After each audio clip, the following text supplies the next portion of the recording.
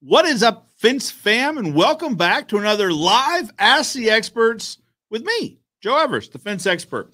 Guys, I am super excited for today. It when we talked to these guys last time, like seriously, I don't know who you need to ask, but when I left this, I was just I was happy the rest of the day. These guys are they've got a huge channel over in the UK. They do a lot of good work. I love watching them personally. Uh, so yeah, without further ado, let's have them on. Gentlemen, how are you? Hello. Hi, you all right? yeah. Oh, good to have you guys back on. Wicked, we're glad to be back on. So, first and foremost, I appreciate you guys being on today. Uh, so, to bring the viewers in, uh, we were having a WhatsApp chat uh, earlier this week. Actually, I said, "Hey guys, the the video's done. Uh, you know, could you be on?" And Dave says, "Oh, we're slammed this week and next week." And I said, "Hey, that's that's the life of a fence guy right now. I get that. Um, but yeah, but here you are. So thank you. I appreciate you making time. That's what well, only just. We literally came in through the door literally less than 30 seconds ago. So uh, yeah. yeah. So been, uh, to bring the viewers in, so typically like before this thing goes live, I'll have some I'll have whoever the guests on and we'll chat for a little bit. Uh, this time you guys came in like while the countdown is going. like, just in the nick of time. Literally. well, first and foremost, Stevie, congratulations. Thank you. You got Thank your you. license, or is it your certificate? Yeah, it's like it's it's an extra part of the license, so we call it as class two. So um, Okay. it means that rather than being able to drive a car up to or a van up to three and a half tons, nah, you get extra weight, so you can go to the big boy wagons and stuff like that. Such as a grab. Yeah, that's it. All right, all right. So now you got you guys are beasts. So you put in a full day's work, and and then you come on here. So tell me, Steve, today, did you drive the grab? I've been driving the grab. I have Yes. been in charge of the grab. All right, all right. It's we always hard. YouTube as well, so that's always a bonus. What's that? I'm sorry. We filmed it for YouTube as well, so that's a bonus. Yes, I I will wait patiently for tomorrow's uh, tomorrow's video or Wednesday video. Wednesday. Wednesdays. Okay, Wednesday. I was gonna say that's like Already it's pretty quick. Pretty. oh, Yeah.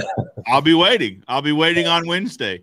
Uh, guys, if you if you don't follow D and J Projects, their link is in the description below. If you're watching us on YouTube, go check them out. David and Stevie have an incredible channel. Uh, it is so interesting for me to watch just how things are similar yet different in uh, over in the UK.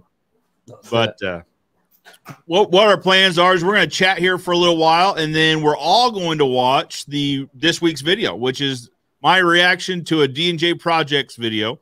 Um, so the video the video that we're reviewing is David. You did basically a how to uh, build fence a, a while back, right? And uh, yeah, I, I it was it was fun for me to review. It really was because we it. was Uh, actually uh, discussing it today because Yeah. we was actually asking the question to each other of we wonder which one it's actually going to be. Yeah, Um, that's the one. It, the one. that, Uh, that did come up in conversation about if it would be that one. Yeah, I like it because you know, Dave, you you showed us, you laid out all the tools. Yeah. You need this tool and that tool, and this is how you do. I was like, this is the perfect video to review to show, you know, like I said, similarities and differences. You know, Yeah. we we all have to use diggers, right? Hand diggers and levels and all that jolly goodness. So it was uh, it was fun. But you guys use a few extra tools, which would be the uh, we would call it a concrete saw, right? Just the the circular blade Yeah. there, because you guys use concrete posts. Oh yeah. And we talked about this at length last time, but I just we're going to talk about it some more because uh, I it's such a great idea. It really is. Um, if there's one thing, and I talked, so we had a training event here in the states up in Nebraska two weeks ago, three weeks ago, and it was uh, basically as a continuing education for fence fencing professionals. And and me and two and three other guys are, are were having chats. I was like, guys, we have to figure out how to get on board with concrete posts because it just it makes so much sense from the get go. Yeah. Um, Such a simple idea as well. what's that? Such a simple idea of a, a mold is. of concrete. Yeah. Oh, it, concrete and reinforcement, right? Yeah. Reinforced rod. So it's not it's not tricky, but it's just but I don't know. I don't know why it hasn't caught on. And you see it. I mean, obviously in the UK and and various other parts of Europe, right? I mean, it's a pretty common style. Yeah. I'm not sure why it hasn't made it made it over to us yet. We see it on highways, uh, highways and interstates. You know, when we're talking 30, 40 foot tall uh, sound barriers uh, that are solid concrete, they use concrete posts. So we need to bring it. We need to minimize it yeah, and put yeah. it in yards. Well, well, guys, let's do this. Let's say hi to a few folks, and then I've got all the questions in the world. Kev Docs has been here since ye- yesterday afternoon. Uh, posted this question: Galvanized or stainless steel I've, nails? I would assume for wood pickets. Which do you prefer? I live in Florida and use stainless, but lately customers have been asking for galvanized. Follow up. And normally it's the customers that move down here from up north that want galvanized. I live on the coast. So, guys, I'll ask you. So, one, you guys have is it the Panelmatic? Is that what? You, panel master, yeah. Panel master, yeah. yeah. Panel master. That's another piece of great equipment. Uh, what what type fasteners are you using? What type nails are you using in that? Ours are galvanized, but someone did ask me in the comments about stainless steel. So we don't use stainless steel over here. And it says, oh, if, if you use stainless steel, the panel's going to last longer. But I think the galvanized nails last just as long as what our, our wood does anyway. Yeah, I, I agree with you. I do. So we use, we'll use a hot dip galvanized ring shank yeah. nail. Um, for us here in, here in the Midwest, it's fine. So our air isn't as corrosive. Now, Kev mentions that Kevin mentions that he's on the Florida coast, so he's right on the ocean, and so typically the oceanside environments are really corrosive. I mean, mm-hmm. they'll they'll just chew through metal. So maybe that's maybe that's a consideration. Yeah, yeah, definitely. Yeah. So, I mean, Kev, for you, I mean, stainless steel is the way to go, right? But if you were to take me from Missouri and throw me into Florida, I'd probably ask you for galvanized too, just because that's what I'm used to seeing and using. But stainless steel would be the way to go. We looked into stainless steel nails, a bit more expensive than galvanized, about three times, three to four times as expensive. And that was, we looked into it probably two years ago. So pre pandemic, there's no telling what those nails are, are costing now. Someone from over in your neck of the woods, Backroom Property. Looking, f- hi, folks. Looking forward to it from Scotland. Backroom Properties. Very yeah. good. good Very good. Some some uh, some folks you know. Just for you, yeah, yeah. I've spoken to just for YouTube. Yeah, yo, it's fun. Isn't it funny where you meet people like that, where you see them in your comments repeatedly, and yeah, yeah, so there's I'm gonna scan real quick and see if he's here yet. There's a gentleman named Roger Bittencourt. He's every week, he's in the comments, he's telling people, he's reminded me to remind people to hit the like button and such like that. Uh, never met him in person as far as I know, but uh sure like to one day. But Backroom Properties, hello. Craig Yarmula. Oh man, I'm butchered that and I apologize. Yarmula. I'm not sure. Craig, I apologize, but welcome. He's here from New Jersey. He's a Jersey boy. Liam Bro wants to know where are D&J projects based in the UK? What's that? Uh, so we're in the middle of the UK in the East Midlands in Nottingham, so Nottinghamshire. Um, and if we're being specific, we're in Basford in Nottingham. Basford in Nottingham. There you go. There you go. So I'm going to show my ignorance here. Uh, not so is there still the Forest there, Nottingham Forest? So Nottingham Forest is the football club. Okay. Uh, and there's Sherwood, Sherwood Forest, Forest, which is a big forest. Okay. All right.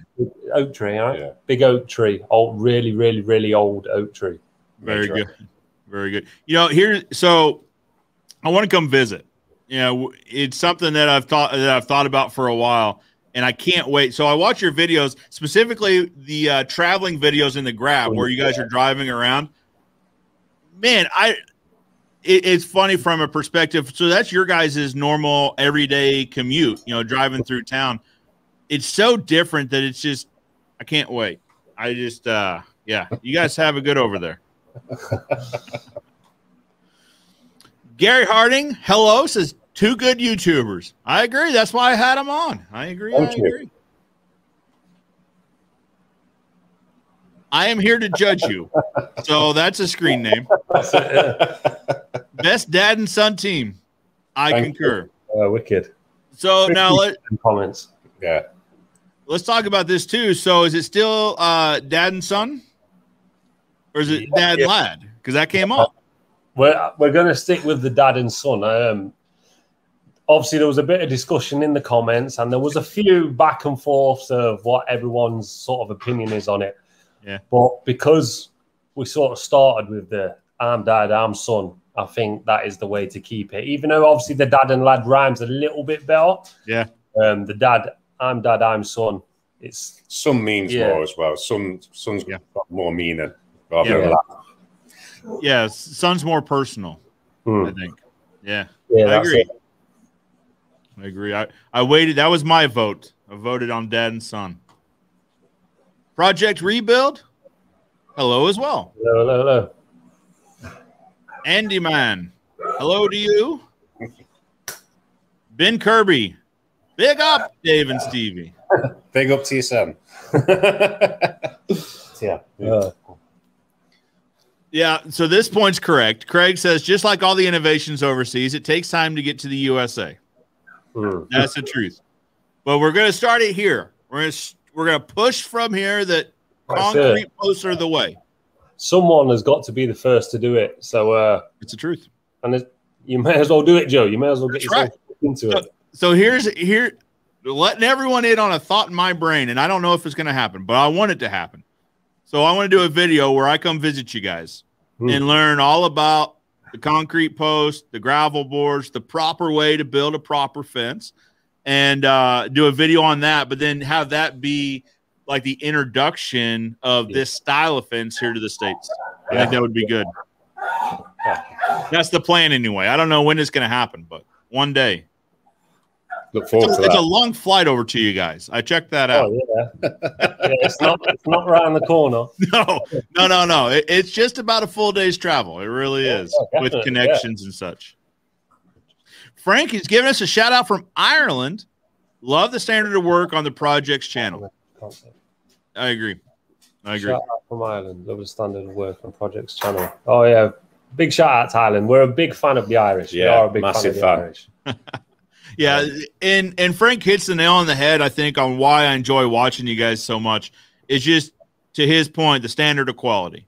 Yeah. Uh, You Yeah, can I tell just we pride ourselves on as well. We want to make sure that every single thing we do is, if it's not perfect to us, then it can't be perfect to the customer. And I think Yep. we go the extra mile to make sure that the standard of the work is at that level. Um, Yeah.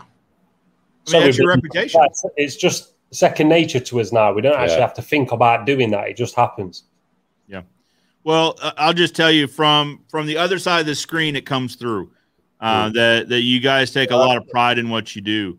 So Yeah, I I have to think that if I lived if I lived around in your guys' area there in the UK, that that that's your reputation, Yeah. right? Is that it gets done the first time that you don't have to follow in behind you guys to see what was missed and what wasn't done.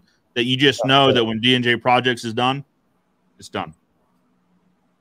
Let's let's talk about that, guys. I, I there's a ton of comments, and we will get to them, but I want to kind of have conversations as they come up because I've been known to forget something where I want to talk about it and I let it go, and then it disappears. Something that's going on here at our office lately is checklists, Mhm. right? Make sure all the boxes are ticked before we go, uh, because we're all human, right? You're wrapping up a project. It's the end of a long day something gets overlooked. Right? Did all the nails or did all the pickets get nailed? We build on site, so did all the pickets get nailed? Did everything like that happen? What What's your guys' process? So the the project's done. How do you guys make sure that all the all your check marks are ticked? It depends on the project. If we're talking fencing, because there's it just happens so naturally because it goes a post, a gravel board, a panel, and then you start it again. You start the process all again. It's hard to forget and miss something when it comes to the fencing in that aspect. If we're doing camp rail fencing, which is all timber, then there is a chance that you may miss a couple nails and just have to check back over to make sure you've nailed every every part of that um, fence. But when it comes to the concrete fencing with the timber panels, it would be very very hard to miss something because it would be a vital part of the fence, so you would know instantly. Yeah, yeah, you would probably just know at sight that something's Yeah, a bit off. And- That's it. Yeah. well, and, and by the time the panel gets out on the job site, you guys have already had quality control there in the shop. Yeah. Well, it's Yeah. past it's past so many people. So the person who's made it, and then he lifts it and puts it in place where it is. Then Stevie and his team will lift it up again. So it's had so many eyes on it before it's even arrived to site. So it's really hard for anything to go out there which has been missed. Yeah, yeah, that makes sense. That makes sense. And like I said, that's just something that we're we're going through right now. It's not it's not something that happens often, but often enough that we've kind of come to the decision that uh, we're just going to create a checklist.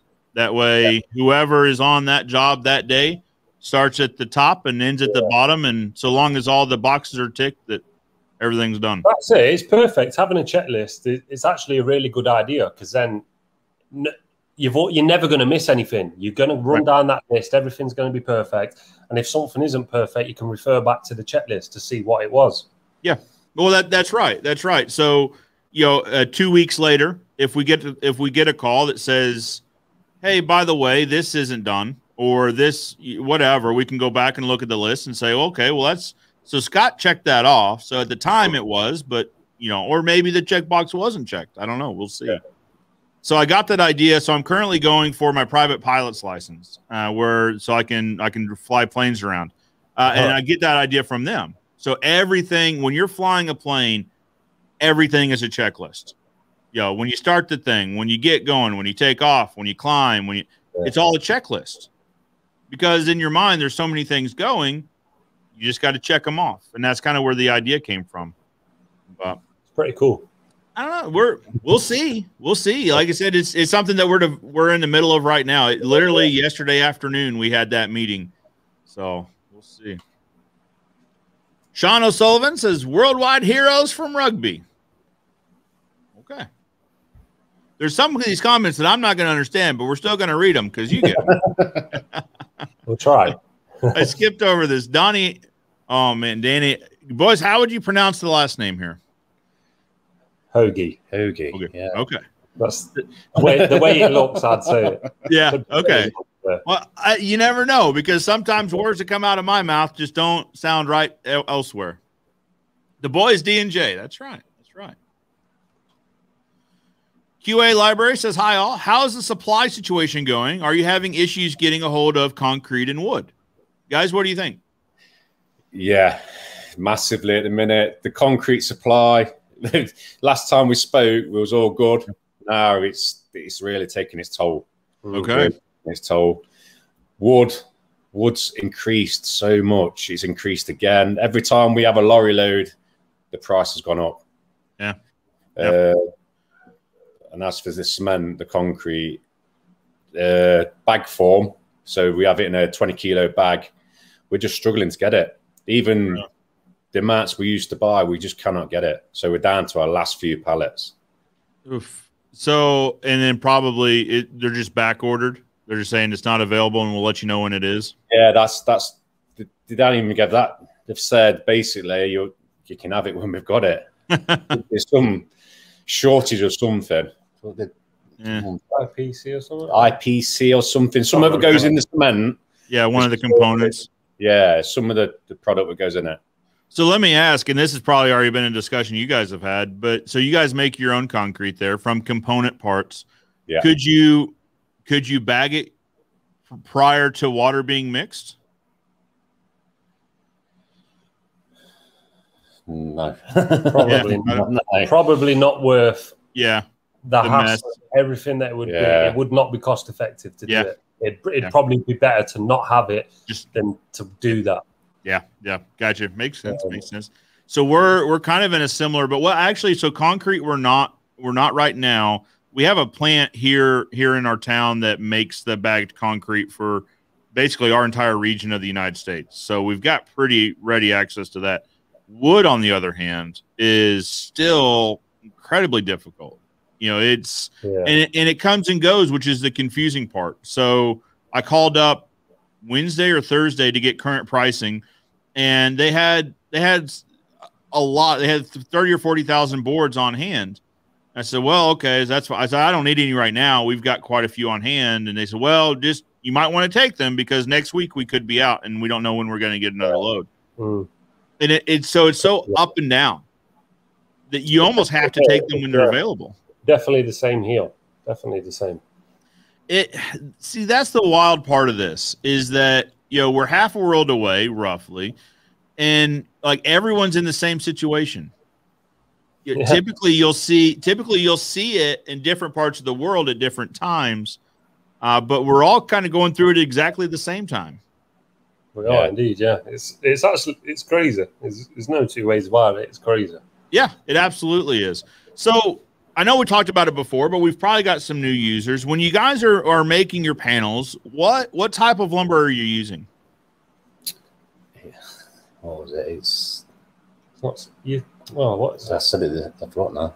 It's not pine. It's Hey, what would we let's use? ask That's the the real boss. Got to ask the boss. Yeah, yeah. it's because she buys everything. I'm on site a lot Yeah. now. I, hey, I, I understand this completely. What would we get in at the minute? Spruce. Spruce. Yeah, is it spruce? Spruce. Okay. Yeah. Yeah. We Yep. the real boss finds it. Don't worry. so we had I had a situation like this. Spruce. I thought it was. I forgot. Mind blank. Just went. spruce. Definitely, yeah, spruce. That's what happens when your head's in the work, right? Yeah. Yeah. We, I had a situation like this. We were up like at this training event in Nebraska, and someone's I forget what the question was, but someone was asking me where we sourced this one particular part. Hmm. I don't know. I said, but I've got I, I had a few folks with me, and I said, let's ask them. They'll know. Like that's I don't know. That's not my. That's not what I do. So I understand the. I understand that for sure. So spruce, and we talked about last time that you guys it's pre stained when you guys get it. Yeah, Alright. yeah. Just to take that thing out of it. Yeah. Yeah, it's a nice looking board. It really is. All right, let's get back to the comments. Oh, I apologize for not asking this question yet. Any news on the Swans? Well, uh, right. Well, basically, you'll have to stick around for Sunday's video. Okay. what, Uh, what we will reveal. But Very good. let's just say that the Swans have been there this week. Yeah. But let's just say there's somewhat someone or something else occupying the nest at the moment. We'll just Okay. say that. All right, I will be tuning in tomorrow because I think I'm, I'm going off memory here. I believe on Wednesday they weren't there. On Wednesday they had swum off uh, for a little bit. Now some of the eggs are in the water, are in the lean. Yeah. Yeah, Good grief! it's Do you true. think? How did they get there? You think? Well, a lot of the comments are saying that the the swans can sort of almost tell when they're infertile and they're actually not producing. So what they what the comments are saying, not that we know or have googled, but they're saying that the swans will actually kick them out of the nest if they're actually no good.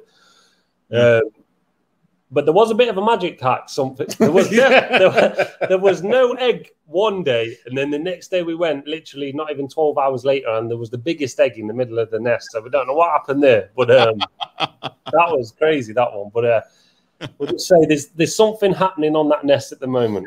So we need to tune in tomorrow to see what's going on with the nest. Hundred percent. Good news. It's good news. Yeah. Okay, okay, okay. Good news. Uh, so without getting into the video, there's one cygnet. Is that right? As of right now in the videos, there's one cygnet. We've I, we ain't seen that cygnet in a long, long time. So Oh, okay. we, we've only seen the swans once in say one one or two weeks time we've not really seen them i don't Okay. know what what they're actually up to but there was definitely one cygnet Yeah. um, but who knows now you just Who knows? we, we haven't seen it in a while Okay. Had some swimming lessons one day and it gone. yeah, That's that's for what I remember. Yeah, I was swimming around with dad for a little bit and then Yeah, and then they were, they were gone. that was it went off for adventures.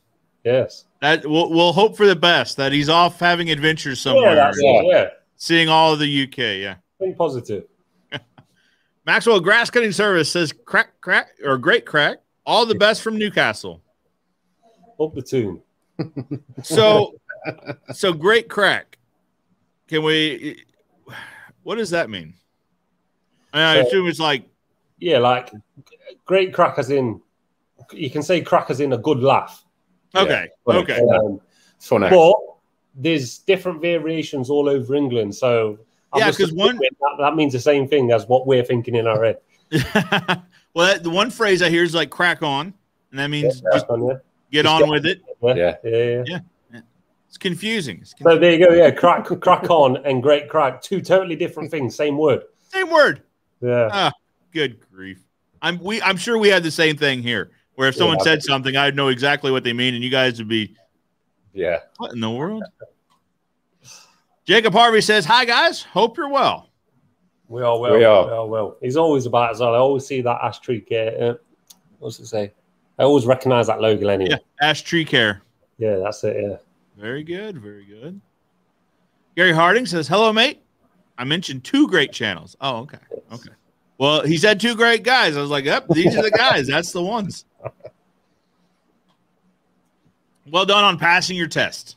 No, thank you. Honestly, it really does mean a lot. There was a obviously there was a hell of a lot of comments on YouTube, a lot of lot of Instagram DMs of people just wishing me well, telling me I'll smash it. I'll I've got this in the bag, and it really really did help. Don't get me wrong.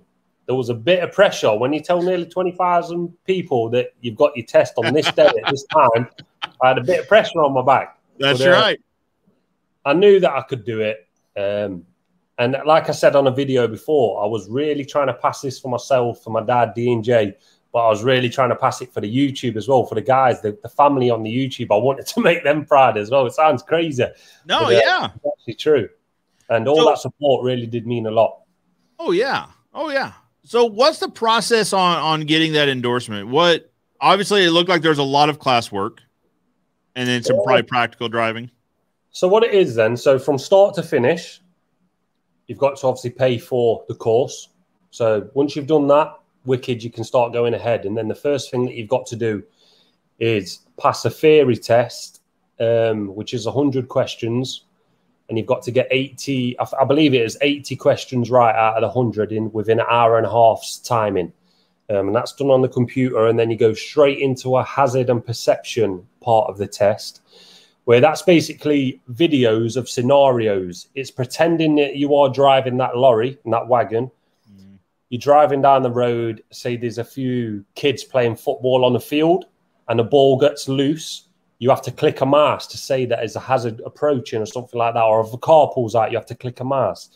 But Okay. you can't overclick because if you overclick, you get marked down and you have to score a percentage out of that. So let's say you pass them two. And then there's two added ones for CPC. So you have to do module two and module four. And you have to have those qualifications to be able to drive professionally so that you can be marked on how many hours you've driven throughout the day because you can only do so many. Sure. And again, one of them is question based on a computer.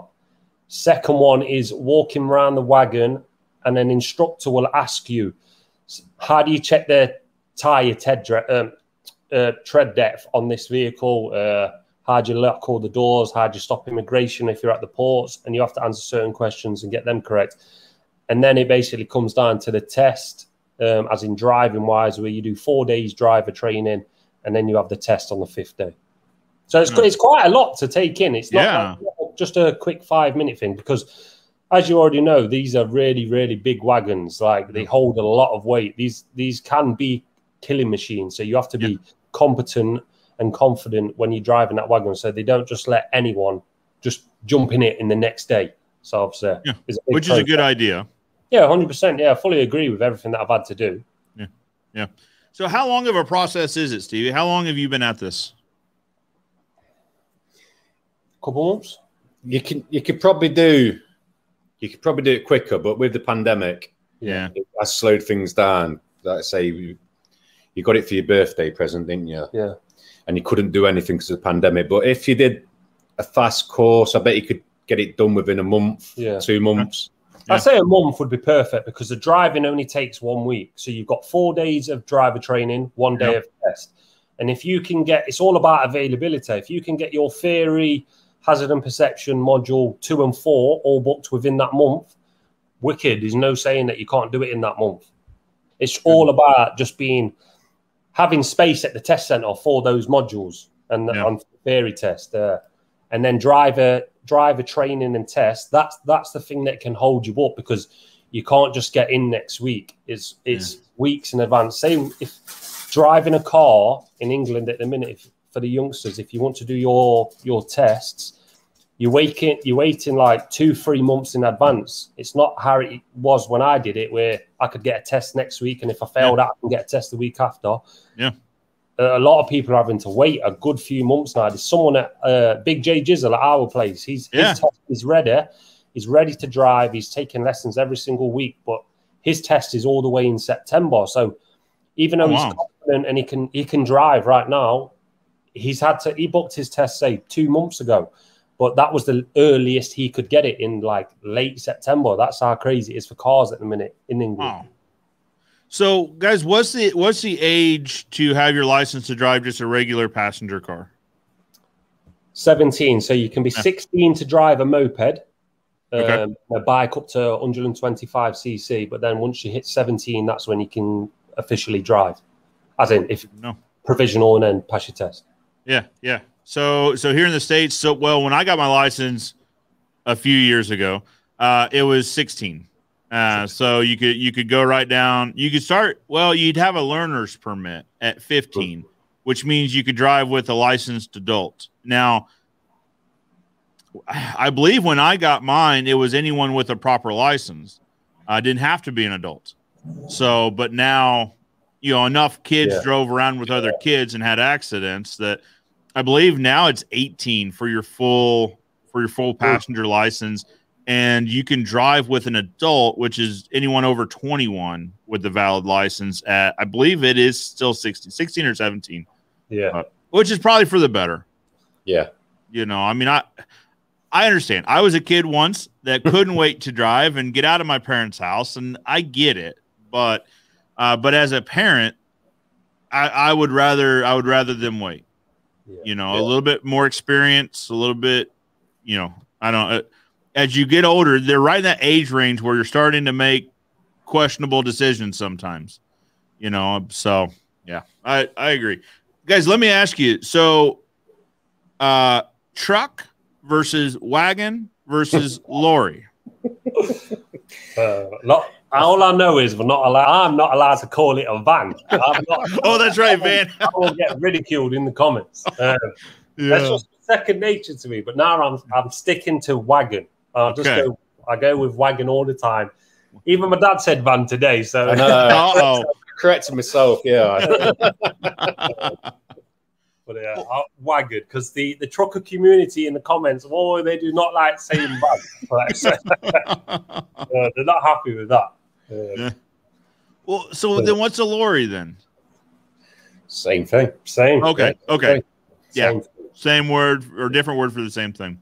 It's Just that English thing where we've got so many different words, some different uh, spell, but yeah. it means the exact same thing. Yeah. So the the vehicle you drove for your test. So you you had the picture with your certificate in front of the Minions vehicle. Yeah, the Minions tremendous amount of lights on that vehicle. Yeah. It had all the lights. Is that common or not common? Uh I don't you don't have to have that many. You definitely don't have to have that many. You just need to have your working lights, side lights, main beam, all that sort of stuff. But yeah. it's what they're called again. They have them on minis and stuff. The big circle Spotlights. lights. Spotlight. Yeah, I think they're just classed as spotlights. You like as an accessory, but you don't have to have them. That's just a bit overkill. Um, yeah. But I don't know why they had so many on that one, but there was a lot of lights. There was a lot of lights because I had to check every one every day, so I know there was a oh, lot of good. lights. Yeah. uh, uh, so part of your training is it nighttime training or dusk dawn training? No, so it was. It's literally what time? I was starting at twelve in the afternoon and finishing around about four. So I was doing around about four hours worth of driving, and it was light all the time. I don't. I, I don't know if they do do that. I don't um, think they do. I, I don't know if they do. They can do on a car. They do like advanced training to do okay. lessons and motorway uh, lessons. But I've because you because when you're doing that HGV test and driver training, you've already got a driver's license. They know you can already drive. They don't mm. need to then take you out on the road at night time because chances are you've been doing it for years already. Yeah. Well, and, and I'd have to think that those vehicles are mostly on the road during the day anyway. Some there's quite a lot of nighttime driving with that sort of wagon. Okay. Yeah, Okay. a lot, lot, a lot of nighttime um, driving with that. Going up and down the country when it's a little bit quieter, you can get to places a bit faster. Makes Um, sense. But uh, but yeah, Very good. Very good. All right, let's get back to the comments. Jack Daniel says, D and J, huge fan of yours. Thank you. Agreed. Jack. Jordy Scanlad says, I respect the passion, lads. Love from Belfast. Keep up the hard work. Oh, we will do. And thank Agreed. you for that. You know, and so one thing you guys are get so right is when I so I'll I'll talk to groups of people sometimes and one th- about making video. And I say you, you should start creating video because mm-hmm. it helps document your process and things like that. But one thing I say though is but only get into it if whatever you're talking about that you have passion. Yeah. Yeah, that you're it. passionate about. Um, because I mean, there's again, we talked about this last time, but there's days where you just don't want to make a video. Of course, And- hundred percent. But if you've got the passion, then you still do it. Right. So Yeah, hundred percent. There's no point doing something that you're not enjoying. that's right. That's right. Yeah. If if what's the saying? It's if you love what you do, if you love if you love your work, you'll uh, if you love what you do, you'll never work a day in your life or That's something like something to that effect. All right, Roger Bittencourt is here. Very good. here, listening and working. Welcome, Roger. We've got Roger. Rick Lang with Steve and Alex. Oh. Part-time fencers in the house. That's it. Ah. They've actually got a good channel as well. Yeah, so if yeah. anyone wants to check their channel out, I was going to say, well, another pair of, of tradesmen that we'll need to catch up with. That's it. They are the good lads. yeah. Jordy says, random question. Dislocated my knee getting into my work van last week. What is the strangest injury you have sustained doing day to day stuff? Wait until you see next Wednesday's video. well, we back. We, Uh, we, we almost didn't make this video today. We'll just say that. It was that bad. It was that bad. But uh, it was. oh. I, don't- I don't want to give too much away, but No, we'll, we'll say prior to that. Prior to that. uh, what's what's what's happened? Uh, it's more cuts and stuff. Yeah, There's definitely cuts on hands and with it with the being the concrete, and obviously when you're dropping a post into the hole, we should wear gloves all the time, but sometimes Sure. you don't. And you Yeah. drop that post into that hole, and your your hands are like this, and the Uh-huh. post will slide down, and our hands are beat up all the time. There's cuts everywhere because it just absolutely slices you. Yeah. Um, but I can't think of anything. I'm not. I don't think I've ever fell over or anything like that. Um, other than that, Dad hit me on the head with a grab today, but not much. No, Get down that bad. Oop, man. no, don't give it. Don't give it away. Don't give Wednesday away. Oh, gotta no. keep 'em- That's nothing in comparison. Oh, okay. Oh, honestly, it was. Uh, it, it, it could have been a lot worse. We'll say that. So probably my most senseless injury. There have been a few. Uh, so on the back of my truck, I have a, a trailer hitch. Right, sticks out the back of the bumper. oh, I don't know what I was doing. I was on a mission. I was walking very fast, and I was. I probably had my head in my phone, if I'm guessing. Mm. And I just smashed my shin right on that trailer hitch. I had to go get stitches just because it was Wow. just right. yeah. I felt so silly. They're like, "Well, what'd you do?" I don't want to talk about it. We just need to get this fixed. Uh, I don't know. But good question, Jordy. Good question. Keep them coming. Yeah, that Yeah. was good. I like, I like them sort of questions. They're cool. Yeah, they make you think, right? And Yeah. and, and talk about things you wouldn't normally talk about. Danny's got a question. I am a joiner, or he just has a statement. I'm a joiner, and the price of timber has gone mad. Isn't that the truth? it's crazy.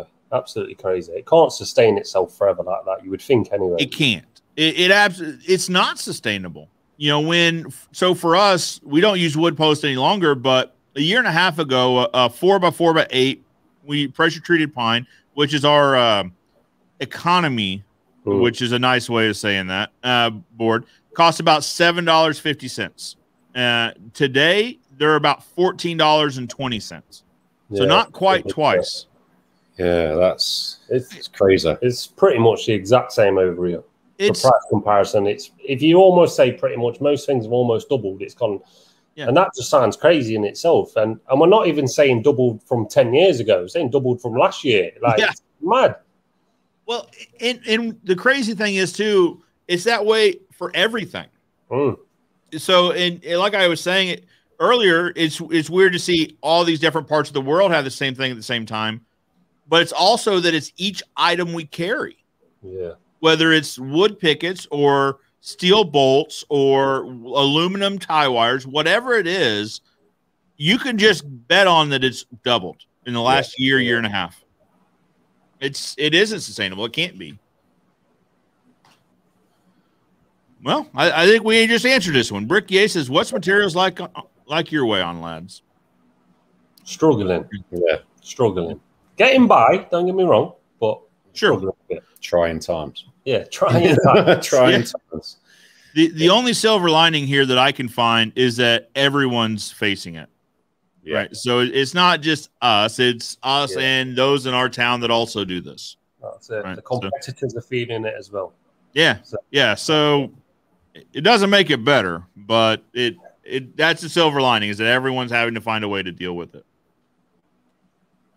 Scott Smith has a quick question: Attaching a custom four foot tall panel to the inside of four x four post, toe in screws, or use angle brackets or clips, or combination of these. All right, attaching a custom four foot tall panel for an angle. to the inside of four x four post. Okay. Uh, what- so What I would do is have a a, um, a framed panel, and Yeah. then I've not got to worry about Yeah. anything like that, and I can just screw straight into the post myself. Yep. Um, I've, I've used some clips before and brackets, um, and I didn't get on with them myself. Not to say that they're not perfect and they work for everyone, but the particular clip that I was using did not work the way that I wanted it to work, and it didn't save me no time. So I just stick to frame panels when Yeah. I'm using timber posts. Well, eh, so so Scott, if, if you're here in the states, so, so when we when we build a panel in the states, we build them a little bit differently. We'll just have three two before cross runners, and then the pickets face nailed onto those. In that in that scenario, probably the angle brackets. I would, if I was doing this, toe in toe screws. I'm not a fan of. Um, and and there's people in my comments that like to talk about this. Uh, we reviewed a video a little while back of a guy that used a uh, it was a deck system called Camo, which basically, you know, the, the screws go in at 45 degree angles through the board. And the argument is it holds better because it's at an angle and it's not head on. Uh, I'm I'm just not a fan of it. Uh, it it could be the best method in the world, but if you're asking me, Yeah. I don't. I would use brackets, but I understand the argument against brackets is they're pretty unsightly. They just don't. They just don't look nice. It's a shiny Yeah. metal piece against a natural looking wood fence. Yeah, so you're in a bit of a jam.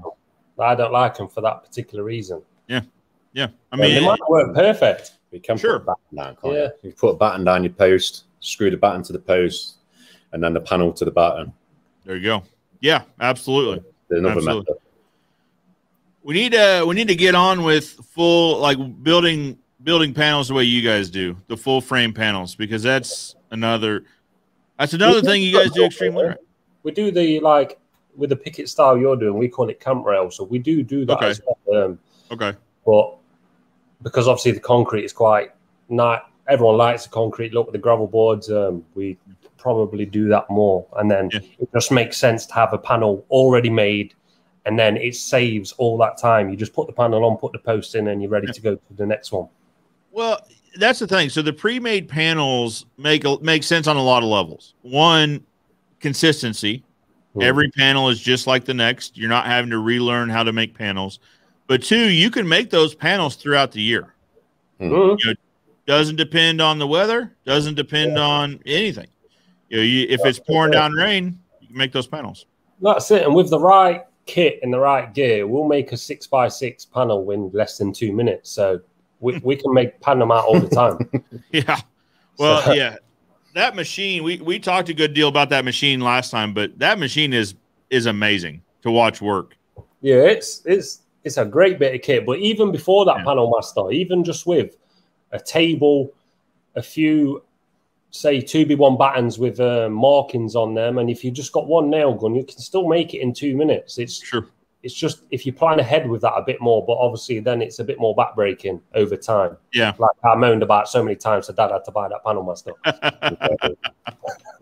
but but it is it is good. And in the video, actually, so in the video that we're we're gonna watch today, answer answer the question about you know varying terrain, you know sloped Mhm. yards, because on one of those gravel boards you had to dig in a little bit to get Yeah. that gravel board level.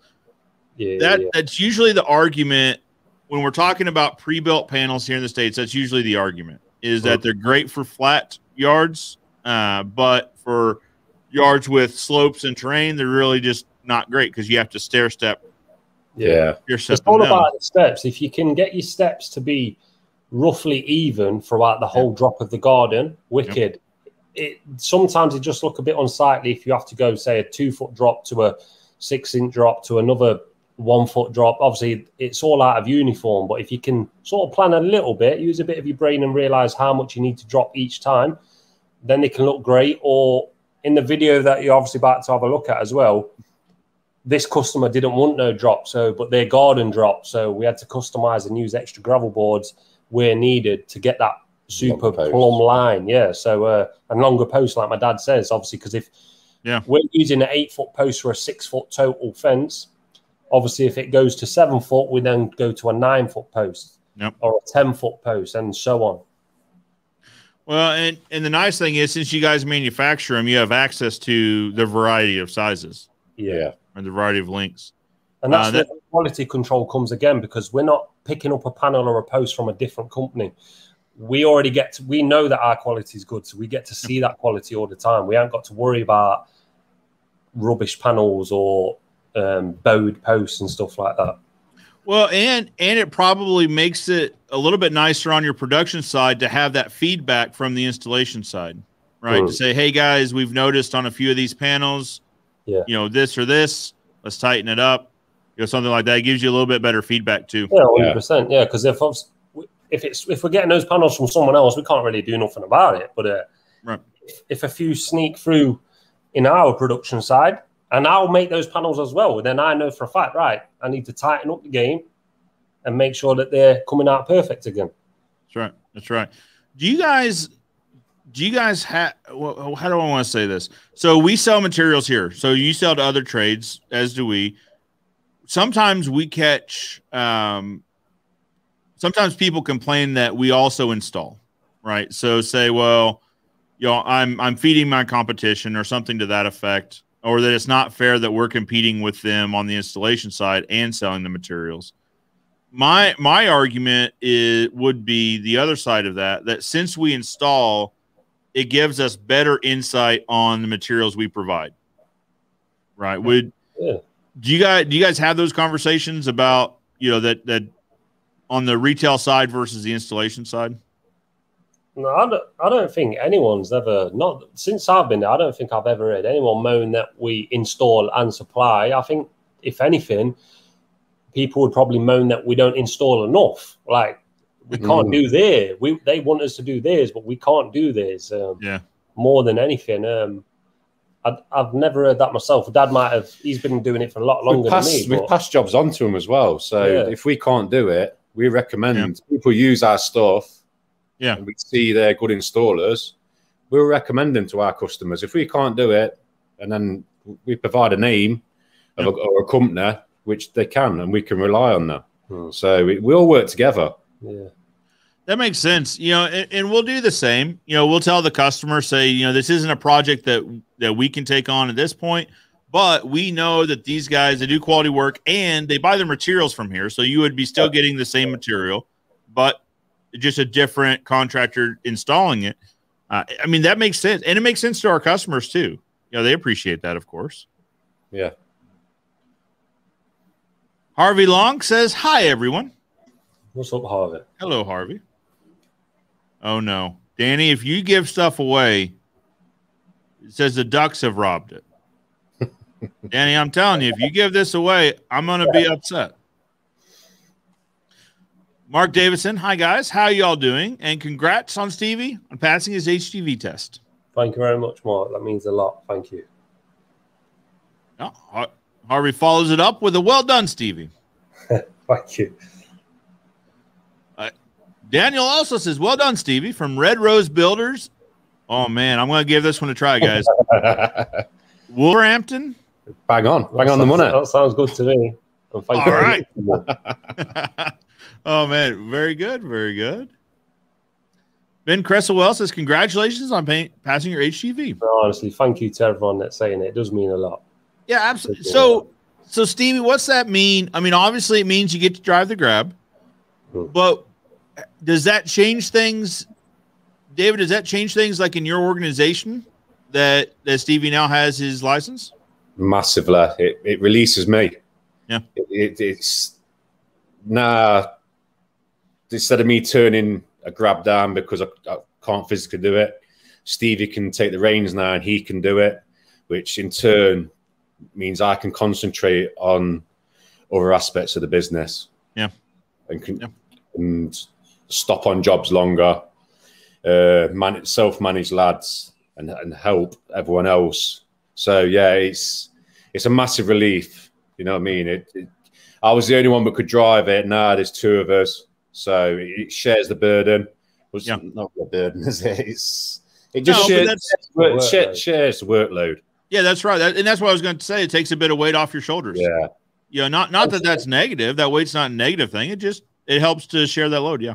and on um, obviously with that, obviously because it can it's a full time job in itself, but there's not always enough hours in the Yeah. day. So obviously with Yeah. those wagons, you can't drive too many hours in a day. So if Dad's done his driving hours for the day, but it's still one more grab, I can jump on that grab and get that grab done Sure. because it's a different driver. Um, but obviously, for all of the listeners and the and the uh, the people out there subscribed to us, don't worry though, because I'll still be doing a few fences and that. So uh, I like, I'm a big fan of fencing as well. So my dad ain't getting me on that grab all the time. I like it. yeah, it seems like you guys. It seems like you guys are still, you know, kind of taking on a variety of projects, right? Or at least in the videos, you know, you went, you had the the paver, the nice arbor. Yeah, I mean, still some fence videos, a little bit of everything, really. That's that's it. So obviously we do fences, as you know. That's like bread and butter for us. But then my dad does do a few hard landscaping jobs throughout the year. He sort of advertises it at the beginning of the year. They all get booked up straight away. So, and I know everyone's ringing the office right now asking for landscaping and all this. But we don't do as many no more. Um, Yeah. So I will say they are fully booked up. Unfortunately, can't can't do everyone's. We'd love to, of course we would. Yeah. But um, but so obviously now we're doing YouTube as well. It just makes sense to film everything um, and sort of flip flip between the week. Um, some people want to see fences, some people like the grab, some people like the landscaping, and obviously we film all week, so it just makes sense to put them all in together, make sure that the video flows, and then everyone can see a bit of what they like as well. Absolutely. I tell you what. So the Yellowstone you guys used, gosh, that's been a few weeks ago. That stone was so nice. Is that is that common? Is it the slabs? There's yellow slabs, or the Do you mean the actual decorative stone, or do you mean the slabs? Uh, sla- probably slabs. So it was the one where they were having uh, water issues up close to the house. Yeah, it reads the Oh, slabs. isn't it? they're not our favorite. to be fair, Okay. Joe, not, not- it's um, economy. That, that, that's usual. It's uh, economy slab. Ah, yeah, okay. Okay, I got you. I got you. They look. They, they make a nice area. They do make a nice area. Yeah, yeah. yeah. Obviously, it all goes on as well. The installation. If if they're installed terrible, then they look terrible. But Yeah. if they are if they're installed right to the right levels with the right eco drain and everything like that, then they can look nice. But Yeah. they're not. my I've I've not used them often, but my dad says they're not very nice to use because they they break too easy as Yeah. well. Yeah, gotcha. Um, And, and that gets back to the economy. Gus walks so that's lava later. Yeah. Well, I'm learning a little. I'm learning a good bit about hardscapes too. About the uh, Hmm. the how you properly lay the slab under, or not this. Uh, Yeah. What do you call the underlayment? The The cement and stuff. Yeah. Yeah. Yeah. Yeah. The proper, you don't do the castle. Like, I Yeah. understand that. You got to do a nice. I'm learning things.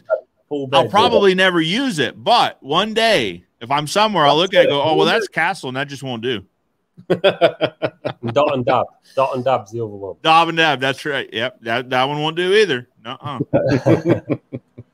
Uh-oh. B&P Paving Nottingham says, what's it like being the second best looking landscapers in Nottingham? Uh-oh. I'll take that. Yeah, I'll take that. we, we, work- we work together. We work together. So Nick at BP Paving does the paving, and we do the fencing for him. so oh, yeah, perfect. yeah. So Yeah. he he chucks work our way. So So, yeah. that's a conversation we have a lot with various guests is the fact that you know I really think we need to get away from from this thought that competitors aren't meant to be friendly. Right? That we can all help each other out. You know, if if I have a need for something, I would I would like to have resources here near me Yeah, that, yeah. that can take care of that. And vice versa. Yeah, and like like we said from the beginning, anyway, um, our only competition is ourselves. We're, Yeah. we're not bothered about what anyone else is doing. There's loads and loads and loads of money out there for everyone to be happy, Yeah. make a nice living, and we're only bothered about what we're doing. Hundred percent. That's always the truth with that. Yeah. Um, we're we're our own competition, but the likes of B and P paving, we're sort we're. We're, we're not even nowhere near competitors. They do their own thing, all driveways and that, make a lovely job. But when they need a fence, they give us a call. Oh, very good. Very good. It's good. Like I said, it's good to have resources like that. Mhm. All right, Harvey says class one is next. Yeah, that's that's so they're Who's the that? Arctics. Yeah, we The royal family, aren't they? From you? yeah. Kenny Dugan, greetings from Texas. Welcome, Kenny. So, so Kenny's got a got the channel called Stain Man, but so Kenny does a lot, or well, primarily so fence cleaning, restaining, restoration, that Mhm. sort of thing. Yeah, If yeah. you want to talk about chemical composition of anything, you just talk to Kenny because he's got this figured out. I don't know if he's like technically like a uh, a chemist, like a doctor chemist, uh, but he probably should be. He probably should be. Welcome, Kenny. I appreciate you joining us. I appreciate some folks from the states piping in. There's plenty of people from the UK. Har- oh man, this name. I'm not going to try that name. What do you guys Uh, think Harry's last name is? I think that's. um I don't know. I don't think that is an official a name. gaming thing. Yeah, who knows? Oh, But, uh, but uh, you ain't got to wait long. 12, Was 12 o'clock tomorrow. 12 Harry. It's not long. Yeah, about a day. About a day. I've actually got. Well, I say twelve o'clock tomorrow. I've got to actually upload it. I ain't even uploaded it yet, so I've actually got to sort that out after this. right. All right, guys. We cannot take this video long. We need to get this video off on time to so we can get tomorrow's video. We've got priorities here. I thought it was already done. I was about to say Yeah, it's already done. we've, but, we've uh, edited it. We're not yeah, loaded it. everything's edited. Yeah, everything's done, but- not uploaded. Well. Still, I want to see tomorrow's video, so I will make sure this is on time. on the England there's an England football match happening at eight o'clock tonight. So I'm I don't know where I'm going to find time, but uh, Oh, well, that's in an hour, right? Uh, uh Three five, hours. six- three hours, Three hours. three hours. Okay. We're all good. We're all good. Yeah, don't worry. We're all good. Sean King says, "What's up, guys from Hawaii?" Hawaii. Yeah, so Sean's over in Hawaii. Uh, they're building some fence. He's Yeah. working with a company over there that builds fence. Uh, yeah, and they're building a bunch of vinyl fence, PVC. Oh, All right, listen, vinyl guys, do not come at me for saying it's PVC. I get it, but I'm trying to. yeah. Vinyl vinyl installers get very particular about what you call their particular material. I get it. Rick Lavin and Stephen Alex says fuel is getting ridiculous very gradually over in the UK too. We we talked about that last video. I think so. It's Yeah. definitely high now at the minute. Yeah. I think there was Well, something in the paper today saying it's a, a, a high, the biggest high in 18 months or something about the fuel. Right. Um, so it's gone up, definitely. So I noticed yesterday I had to get some diesel in the truck uh, in my truck, and it jumped. So usually, so our price, obviously in gallons, is two ninety nine. Typically two ninety nine, two eighty nine, two ninety nine. It was three twenty five yesterday. So Mm. it jumped jumped to twenty five cents a gallon. So you know, Yeah. uh, almost a dollar a liter. yeah. I don't think we've had. Uh, no, I, we, I would don't definitely don't jump like that for us. It might it's a pence, two pence, but it it keeps creeping up. Yeah, Just it's not one big jump. It just keeps just going up and up and up and up. yeah. They hope you don't notice. Yeah. Say a little bit at a time. Yeah, until one day you f- you full up and you say it was how much? Yeah. That's not right. Craig Miller says, everyone hit the like button. Yeah. That's that's for that. Good on you, Craig. Good on you. Appreciate it for sure. Uh, let's see. Oh, well, okay. Sean King says again. What's up, guys? All right. All right. Scott says, thanks for the tips. You're welcome, Scott. no worries. Concrete posts and gravel boards have been a staple since the 80s in the UK. Mm. Yeah, there's, Yeah. there's a lot of fences up for uh, that you see there. You can tell they're old, but they've got the concrete, they've got concrete gravel boards. So it's been around for a long time. Well, and that's that's the beauty of this system, right? Is that so the wood will eventually need replacing, but if done correctly, the post and the gravel board should be fine. Yeah. So it's just simply sliding out the pre-built panel and sliding in the new and moving on. Yeah, actually, you guys have a video on that. Mm, yeah, a couple, yeah. For just such a thing, check out D and J Projects. Dan says we stick build. I can't imagine having having to set my post exact every time to accommodate a pre-built panel, especially with the roots and une- uneven ground we have in Yeah. southeast Louisiana. The fence king. I mean, that's a fair point, Yeah. right? I mean, it's how do you guys handle that? So, you know, the post has to go where the post goes, right? To to accommodate the the six foot panel. So what happens when there's when there's a uh you know a load of roots and some thick rock that you hit about a foot down? What hap- What then? You battle like mad. Yeah, you get it in. Yeah. I- we, we said it once and we'll say it again. We don't fail here at D&J. We get through. Yeah, but yeah. but if, if we're being real, Yeah. we can make a panel to any size needed. So if we have to move six inches to to not hit something, we can do that, or we can plan ahead. If if we know we're running down the side of a garden and there is a massive oak tree in the way, we're sort of going to try and plan for that i- the best we can. Yeah. So we, if we're hitting a load of roots, we're sort of we're, we already know why we're going to hit those roots. So we'll try and accommodate for it. If we're if we're replacing a fence, we can also start with a seven foot panel to miss every concrete post. So Yeah. we don't hit the old concrete. We can saw it off at the ground, not worry about it, get them out if we can. There's always sort of a way, but again, referring back to having the right tools at the right time, there's always a way to get through. Yeah. One thing I've noticed, you guys, you guys carry the the uh, jackhammer. It seems like on just about every project, you guys have it available. Is that right? Yeah, Uh, and then you get too cocky and you don't take it for one because you only see two holes and you think you can do it, and you wish when you're spending half an hour trying to dig the thing out by hand, that's when you wish you brought it to that job. So Yeah. if you got it, take it. That's the best thing. It's better to have it and not need it than to need it and not have it. Bingo. Yeah, we, we talk about that here a lot. Is that even if you think you don't need the tool, I would rather it be on the truck than be in our tool crib Yeah. because like you can't use it in the tool crib. That's it. I've done that twice now, and trust me, I regret. Every, I, I regret them both. I will not be doing that a third time. No, it, it takes a couple minutes to load and a couple minutes to unload. Crazy. All right. Richard Rushton says, Afternoon, Stevie and Dave. Recently subscribed to your channel. Love the content and is inspiring me along the way to do stuff in my property. No, that's wicked. That's, That's what we want. That's what we want. That is exactly what we want. Um, we'll help as as much or as little as we can. Like we can't always help. Yeah. We, we, we don't know what you're doing in the property either. Um, but we'll always try and help. We're like we say, we're here to help as much as we can.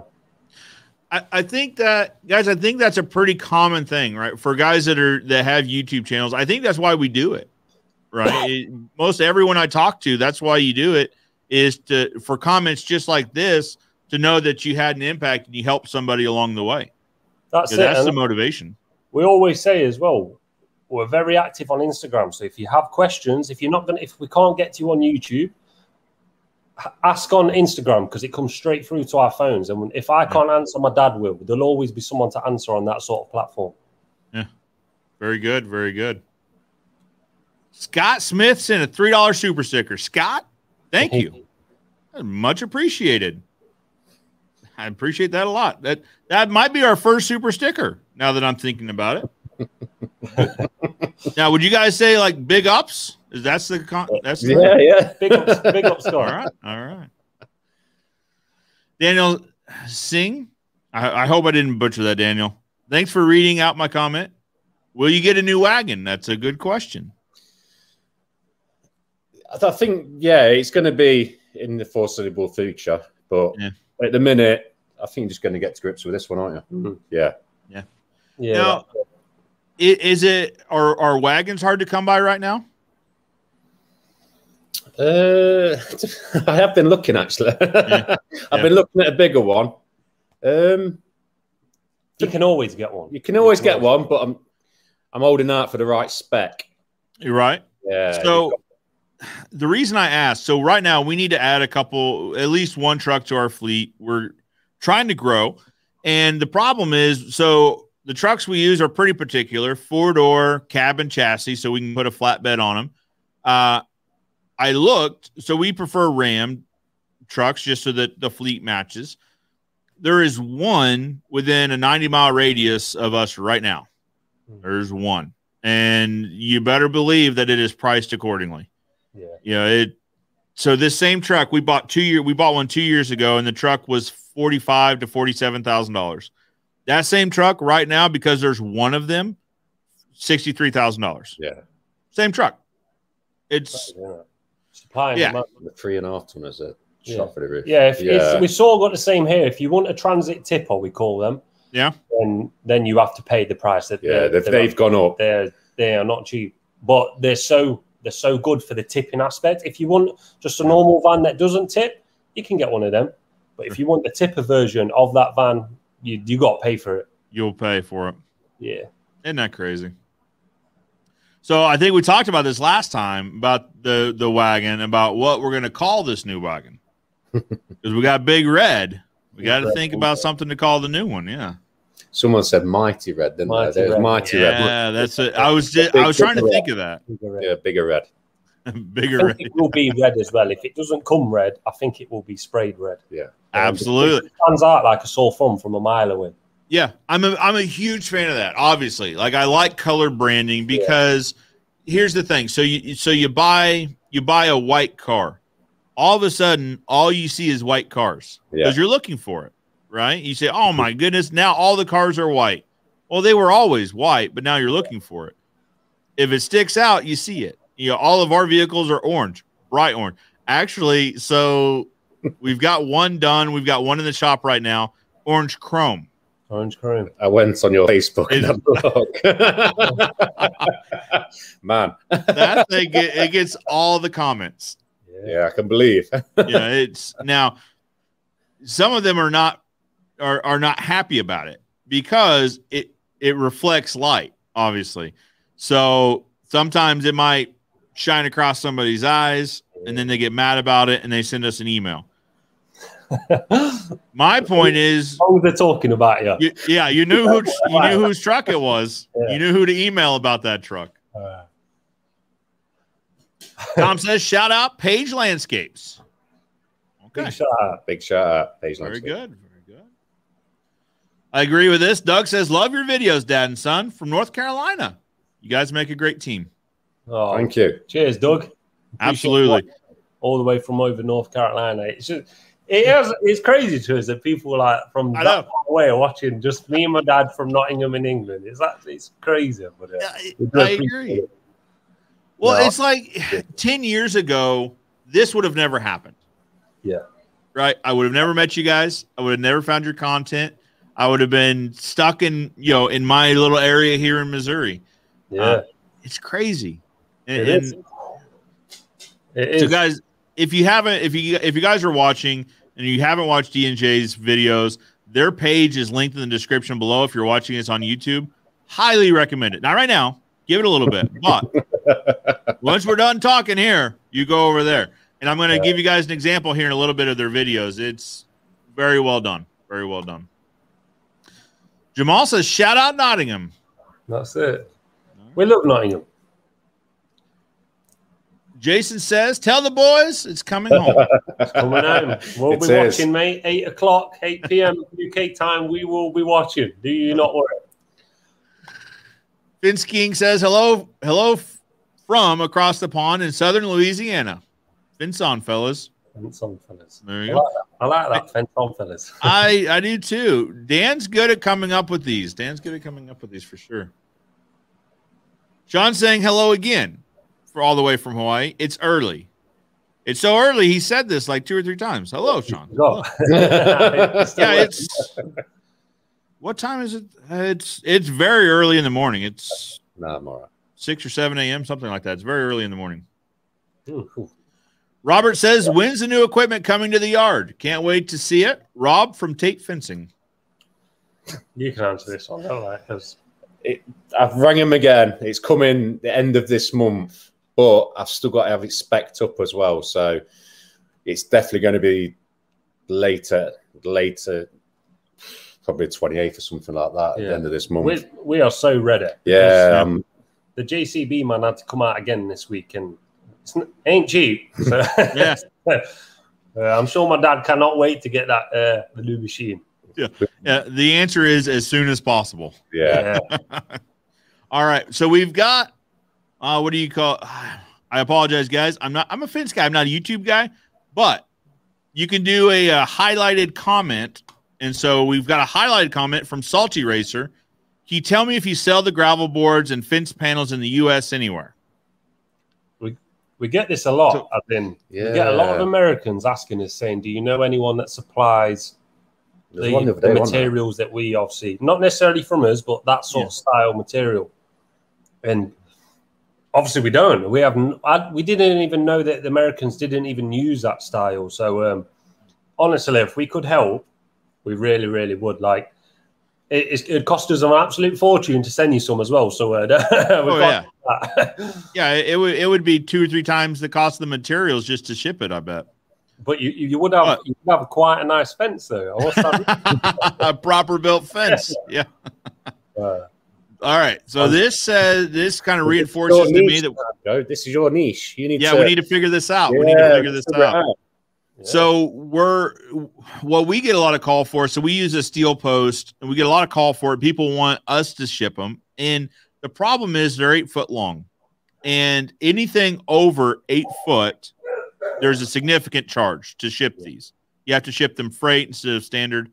Um, so we could figure it out, but even if we made them here, so we're in Southwest Missouri. Even if we made them here, we probably wouldn't ship them. I mean, well, the weight alone would be that's incredibly expensive. But no, so Salty Racer, I apologize. I'm not sure where you get them in the US. Um, but okay, follow up. Dollars. I liked it. Salty Racers gonna wanting to invest making them here in Florida. So let's do this. Salty Racer, why don't you email me? Uh, because we need to figure I need to figure out so concrete machine, right? The the pre-mixing machine, but also the forms are are the big It's the yeah the, the forms and the molds are, are the key to all of this.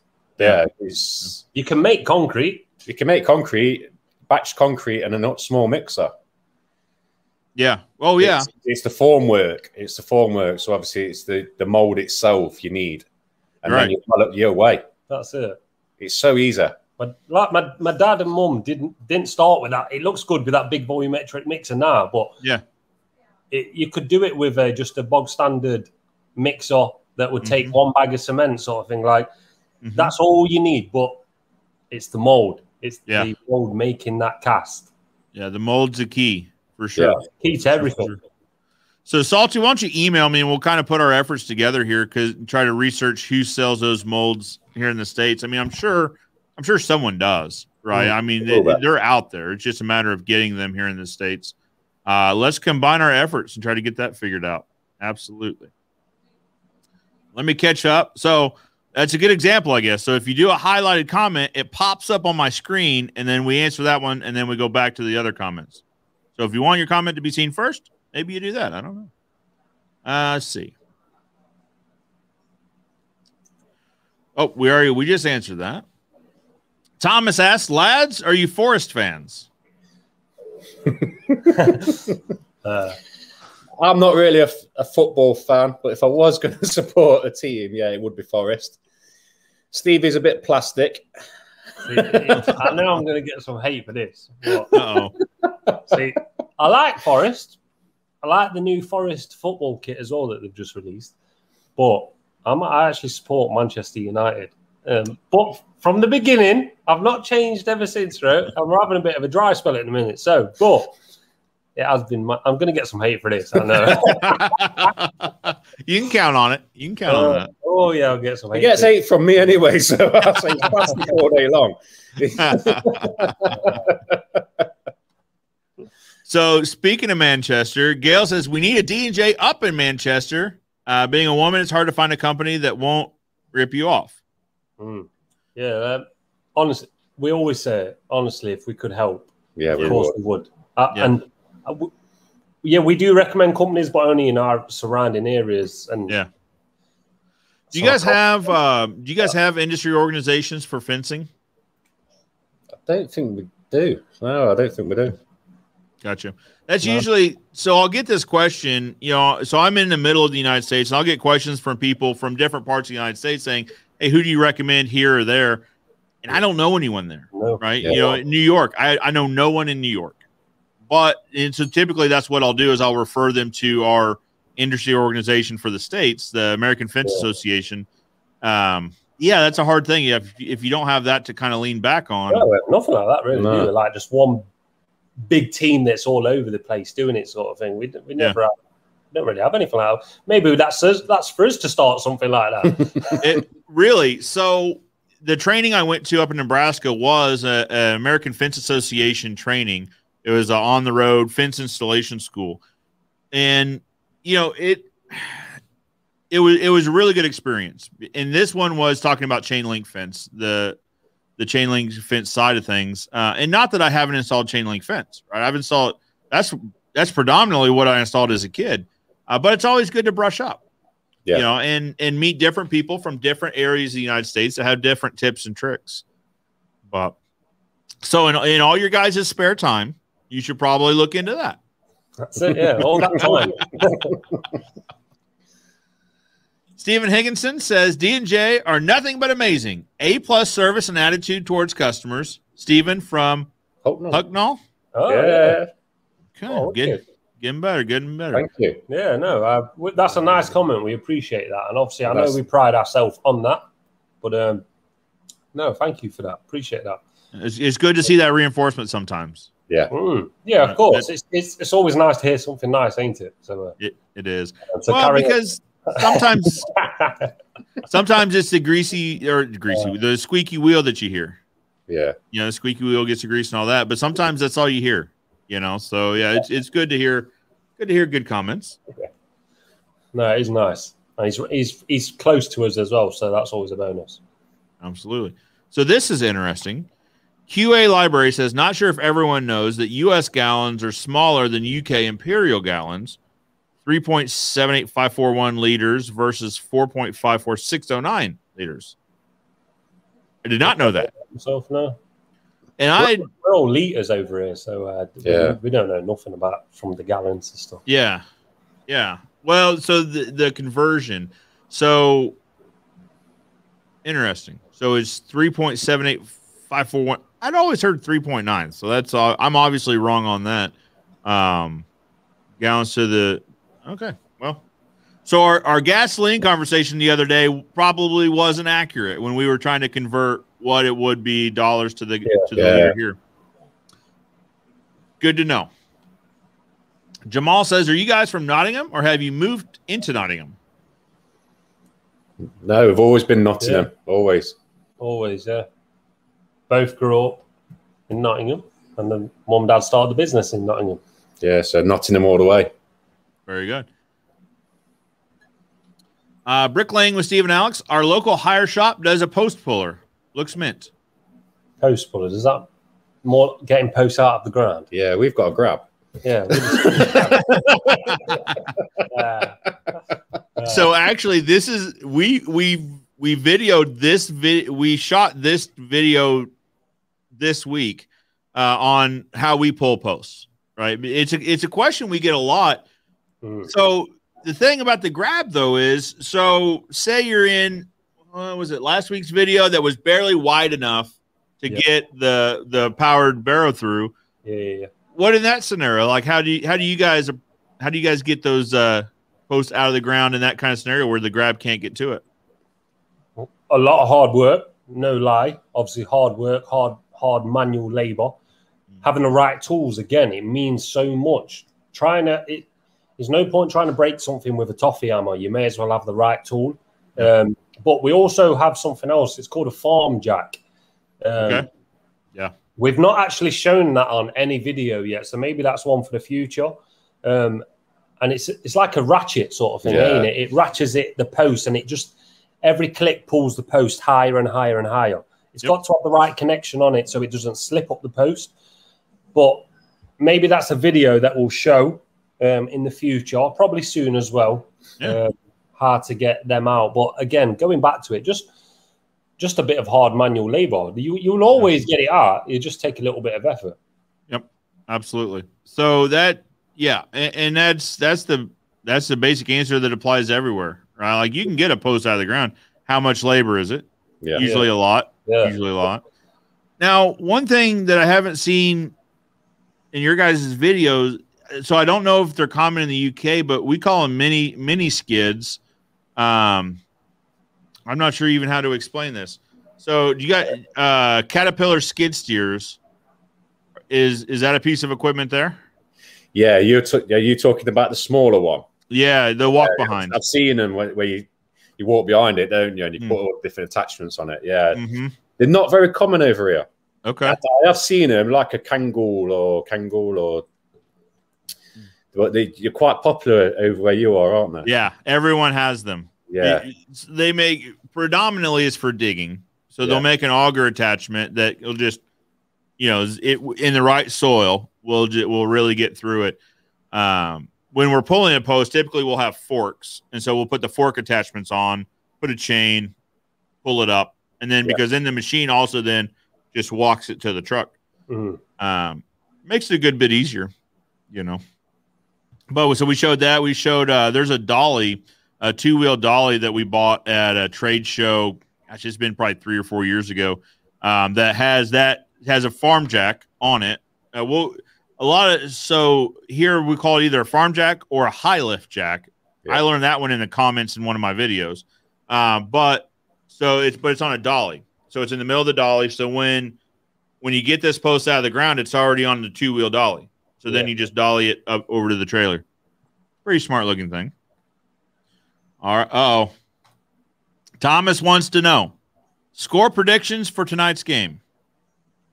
Hundred percent two 0 We are not losing this game. We we beat the big guns last time. The we'll we'll win this game. Yeah. Hundred percent. There's no way we're losing this game. Hundred percent. You heard it here first. You heard here first. And this is not gambling advice. Here in the States, like that's a thing.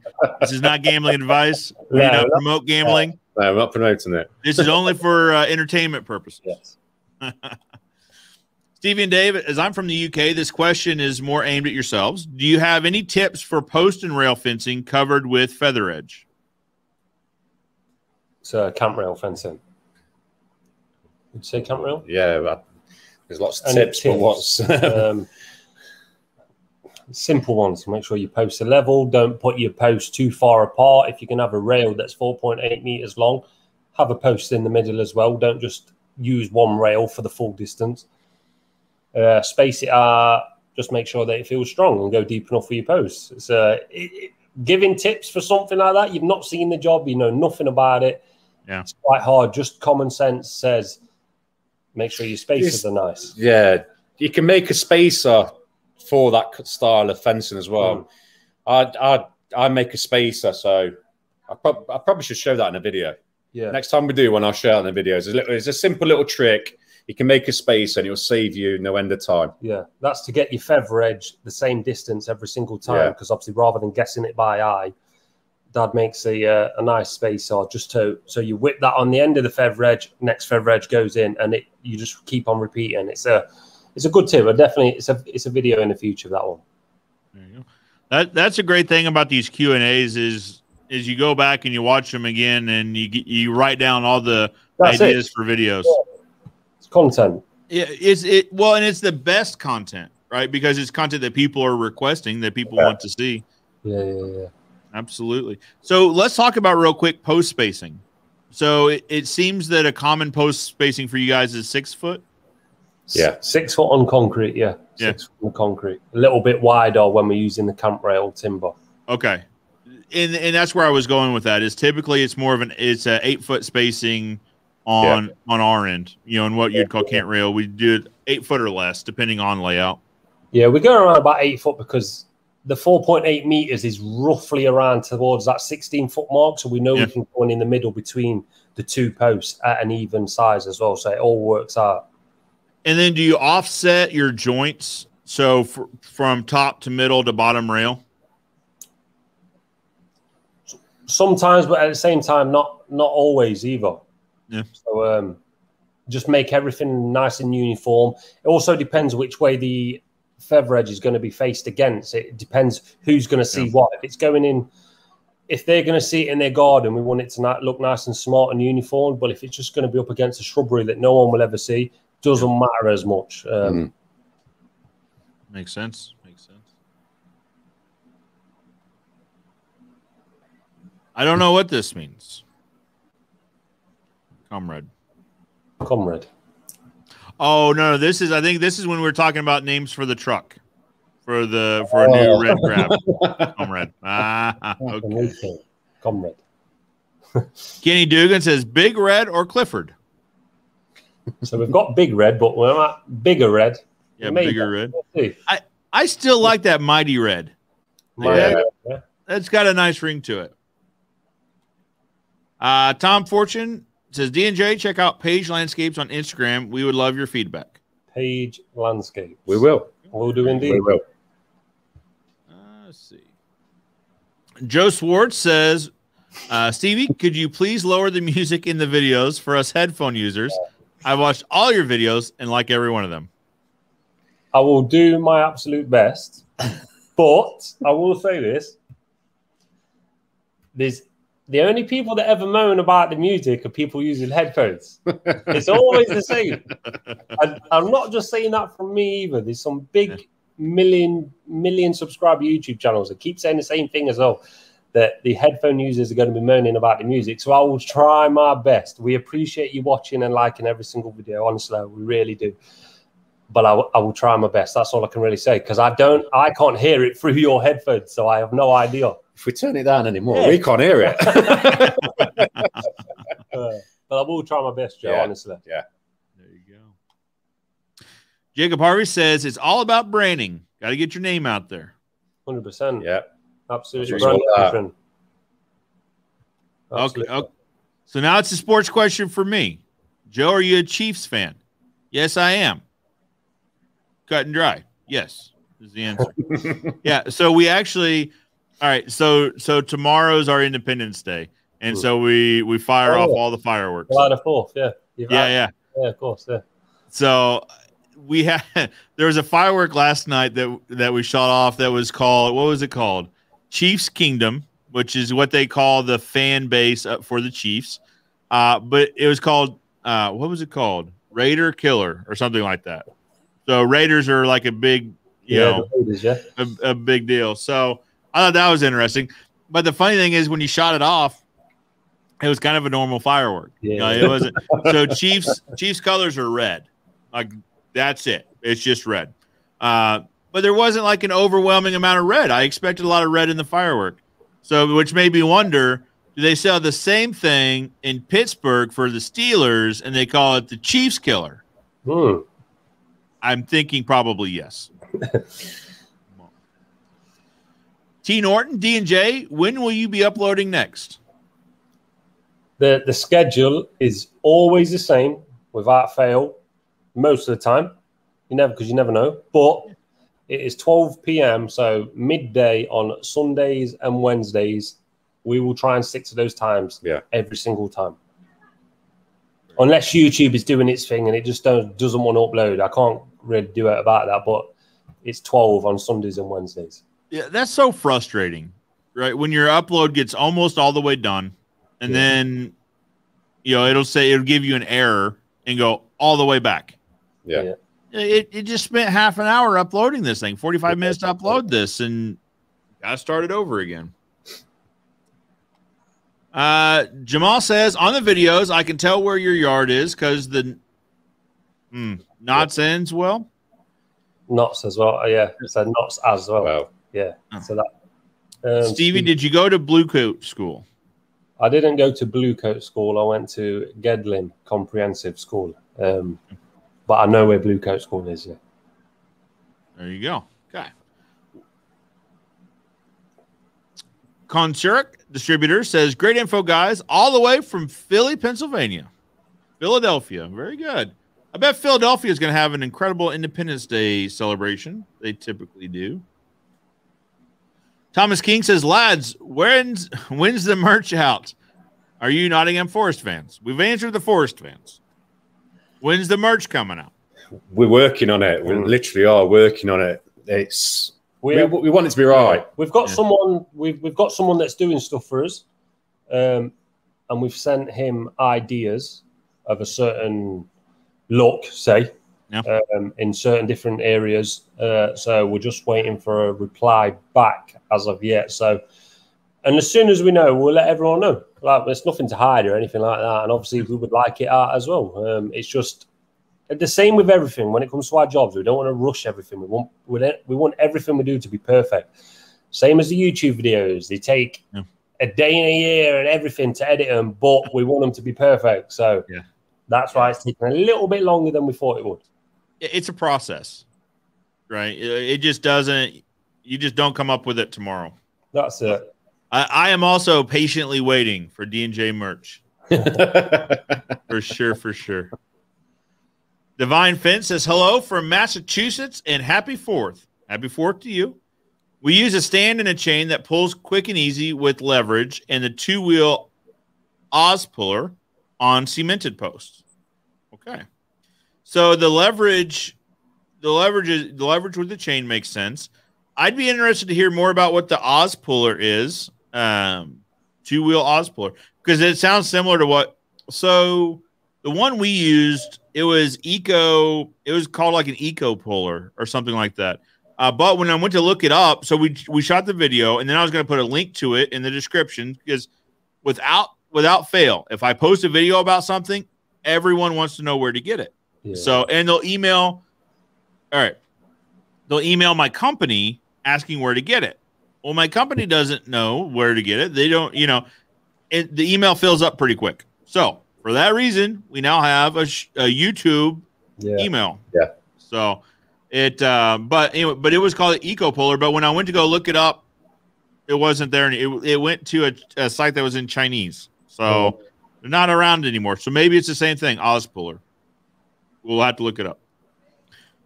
All right, this is a question that I have. No, Connor wants to know: What are your thoughts on Changi? China, yeah. I like China. yeah. I like China. I like. We started watching his two brothers first. So this is a YouTuber, by the way, Joe. Okay, This- okay. I, w- I was patiently waiting on to be filled in on who Changi was. It's a bricklayer. This is a guy that Okay. uh, passed Okay. basically. Um, Okay. I like him. Yeah. Like his brothers as well, Scott and Dean. Good lads. All Very good. good. lads. Very good. Good brothers. So they have a YouTube channel, you say? Yeah, they're all, uh, all oh, both the two brothers and then Changi, they all have a YouTube channel. They're, they're good. They're good laugh. They're a good laugh. They are funny. Stoke, Stokes. Yeah. I'll, give- we'll give them a shout out as well. Stoke Stoves and Property Maintenance. If you haven't watched them, give them a try. Really do some great work, and they're funny guys as well. And then And of Chana. course, Channy's Changi. got, Channy's got his own. He's just Channy. Just Changi. Okay, Stokes, Stoves, and Property Maintenance, That's the one. Yeah. and Changi. Yeah. Changi. Do some We're gonna cracking work as well. Yeah, they do. I, I enjoy watching that. Right, it, it I enjoy tradesmen that are just that excel at their trade. Yeah. I, I really enjoy watching that, and because it's it's like so it's like me watching your hardscapes. I probably Mm. won't ever do hardscapes, but I enjoy watching true craftsmen That's it. perform their trade. That's it. And we don't mind telling people who we watch either, because like we say, we're not we're not we're not bothered about competition or like that. Is No. is always enough for everyone. We're Yeah. always doing that. Well, so I I got enough comments about what channels I watch and subscribe to that actually on my YouTube page. If you guys go to my YouTube page, there's uh there's a oh a page on my YouTube page or that says pages that I follow, Yeah, yeah. and you can check it out there. You so D&J Projects link is in the description, but it's also on that page. You Yeah, Thank you.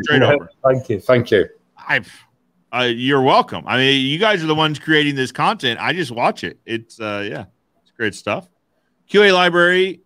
Oh, this is a great question. So, where do you get your music from, and how do you stop being dinged by DMCA's, etc.?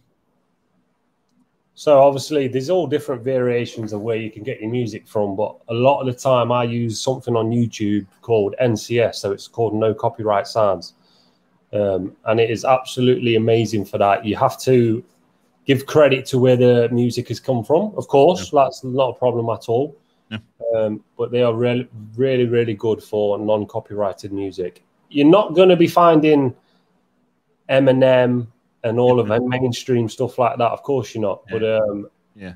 just people that are after a break, um, trying to be seen, trying to be fans art. There's absolutely and there's And thousands and thousands. It don't get pulled, does it? Yeah, we've, we've tried. pulled, yeah. We've tried other ones, and Of course, we all want the mainstream music. Of course, we do, right? But uh, you upload it. It does. It takes six hours to upload, and then lo and behold, you have a copyright again claim against Yeah. you, and you have to take it down. So, Yeah. We don't we don't bother with that sort of stuff now. So um, we just stick to NCS. Um, Yeah, N- NCS totally different ones, but uh, that one and works for us. YouTube audio library as well is also a good one. That's Yep. always a great. Yeah, so so basically the the answer is there's several sources. What you're looking for is royalty free music. Yeah. Yeah, You know, and there's some that are subscriptions, there's some that are free, and you know, teach their own on that. Right, Uh, we're still yeah. learning because um, we shot an absolute awesome drone footage, used some an amazing music, changed every every clip to the sound of the beat, uploaded it, and then found out it had a copyright claim. So we had to, had to take that down and rush it through on a different song. So we're still learning at the same Yeah. time. So we're not professionals on that yet. Well, in DMCA, it, it's a very real thing. So Oh, we had a video get taken down for a DMCA claim, and uh, it's yeah, it's very it's very real. So music royalty free. If Hmm. simply if you Google royalty free music, you and you know Yeah. throw in YouTube or something like that. Uh, yeah, And if you're just starting, definitely try the YouTube audio library because it's right there at your hands, and there's there's thousands as well. Um, Yeah. You might not look get exactly what you're after, but there's a lot of different choices on there. Well, and since it's since it's offered by YouTube, so sometimes what will happen is you'll upload so you'll download music from a royalty free site, you'll upload it to your video, you'll still get a copyright ding. So they'll say this music appear or this video appears to include music that is copyrighted. And you say, "Well, I've and and then you have to appeal that. Yeah. So to say, "No, no, I downloaded it from this site, royalty free," and then they'll allow it. Well, sometimes that can take a few days to get Yeah. through. By using YouTube's music library, you saw won't it. you don't get dinged Yeah, on you're absolutely fine. Yeah. it's a good place to start. I agree with Richard on this one. Those guys are legends at their trade. Thank you. No, thank you for that. Jacob says mini skids are very popular in the UK, ARB industry, in the arbor industry, maybe. Good to know. It's not about the big ones, I think. Adam French says buffering. Yeah, YouTube buffers forever. I think this is when we're talking about uploads. Oh, hello, Adam. Hi. Um, Jamal says, "Are you guys hoping for Goose Goose Fair to go ahead this year?" You know what? I'm, I'm never really bothered about Goose Fair. in my later years. I like Riverside Festival. If he knows what Riverside Festival is, I was more gutted that that was cancelled than I will be about Goose Fair. It's it's a big it's a big attraction that comes around once a year, Joe. For just for Okay. it sounds weird, Goose Fair, but it, it's just an attraction that comes around with loads of different rides. But it's the biggest one in Nottingham every year. So, uh, Okay. it's the biggest one in Europe. oh, biggest one in It's Europe. biggest one in So, Europe. Oh wow. I think. um, Don't hold me to that. I think it is. Yeah. yeah. but to the question, I prefer Riverside Festival. If you know what that is, Jamal. Very good. Very good. And, and you heard it here first. Kyle says, when will we be seeing Stevie Boy in the driver's seat of that grab? Wednesday's video. Wednesday's video. Stay tuned on Wednesday, midday Wednesday. Oh, we talked about this one when we you tell you truck arrive. Not soon enough. Yeah, let's Yeah. say a month's time. At Yeah. month's time at least. All right. JP wants to know where did you get your haircut? He, he, just some backstreet barber. uh, no, I'm assuming from we get our haircut from JP, so you would assume this is Josh, JP. yeah, so, Josh, uh, our main man, Josh. main man Josh. he hooks us up every time without fail. I ain't normally got this fringe, but uh, no, he's he's the man. He's the man. Yeah. All right. So Connor wants to know can DJ, can we get a preview of dad's sleeve if okay with dad? Tattoo. It's my tattoo, isn't it? Ah. So good work. It still needs. It's time, Joe. I, I see you've got some good sleeves. Uh, Yeah, yeah, yeah. Wrong hand. Yeah. good- yeah, it's time. It Time. is. I So wish, I wish you could just cut your arm off, drop it off, Yeah. come back in a few hours, and pick it up, and it'd be done. yeah, that's right. Yeah, yeah, yeah. A few days later, they ring you up. They say, "Hey, it's ready." You're like, "Oh, okay, Yeah. good deal." yeah, because it is. It, it's a lot of time just sitting, just sitting there, and it's not super enjoyable, right? Like it's not fun, but it's worth it. So I've got one that I still, I still have to complete mine. So I've got Jackson for my son. I've got Macy for my daughter and then some some mandala, some fill in there. Well, so I've got three kids though. So I, I had a daughter six months ago, and she's going here, Yeah. and then it's going to complete the sleeve. I am not looking forward to this. That one's sore. That is Eh. sore. It'll it won't be great, but but it will be worth it. It will be worth it. That's it. Um. All right, Uh, we we probably answered this, but waiting for it to arrive still. More eager than us. Jamal wants to know what cars do you guys drive?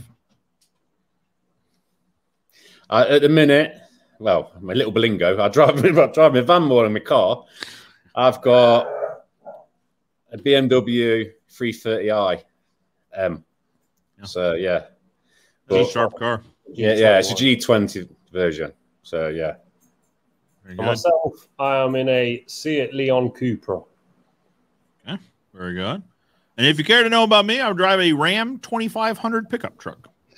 That's Hey, that's it's what I'm. Mum drives a pickup truck though as well, so a Ford Ranger. That's Ford what- Yeah, she does the Ranger. I saw that in one of the videos. she's not She happy about that, but she She drives. won it. She, she- she drives a Ranger. Uh oh. Uh oh. and no one drives a BM. So. All right. This question comes up. Andy wants to know how old are you, Dave? LOL. It's dead easy to find that is, and obviously you just go on uh, Companies House. yeah, which a lot, which a lot of people did. A lot of people did, yeah. So it's, that's been Uh, answered. Yeah. There's some high guesses and some low guesses. But, uh, it, it it does seem to be a topic for discussion fairly often. big mystery, big mystery. All right, well, let's do this. So we're almost two hours in, and we're an hour and fifty in. So let's watch. Let's watch a video. And I figured out. I'm figuring this YouTube thing out as we go, right? But I figured out how to how to get this on. Okay, now we can all watch it together. So, guys, what this is is uh, I did a reaction video to D and J's video because I do reaction videos to a lot of other channels, and I was like, you know what? I need to get. I do enough videos from folks I don't know. I need to do some videos from some guys I know that do good work. So that's what this is. So let me navigate over. And if you guys want to pause and talk about something, just let me know. We can certainly do that. Here we go.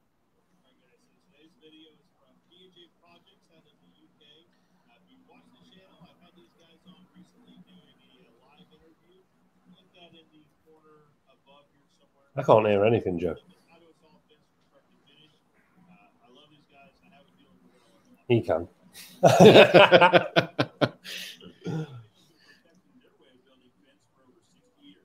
That's a picket fences, ain't it? Mm. Was it up? Was it turned up? Mm. You sure? You sure you're not muted that? No? No. Can you guys hear it okay? No. No, Joe. Interesting. Okay. Can So It's faint. yeah, it's very, very faint. very faint. Okay. Hmm. How do we solve this problem? Okay. I'm telling you.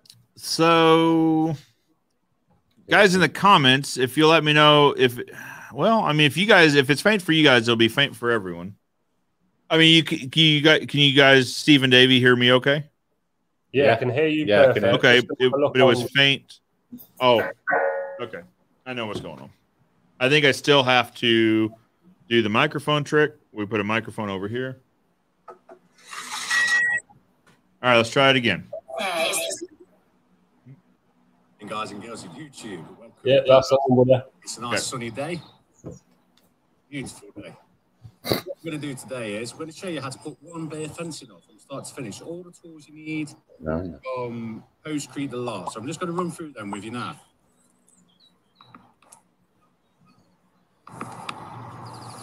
Basic tool, grafter. Pick these up from anywhere, Screwfix anywhere. Right, yes. Shovel.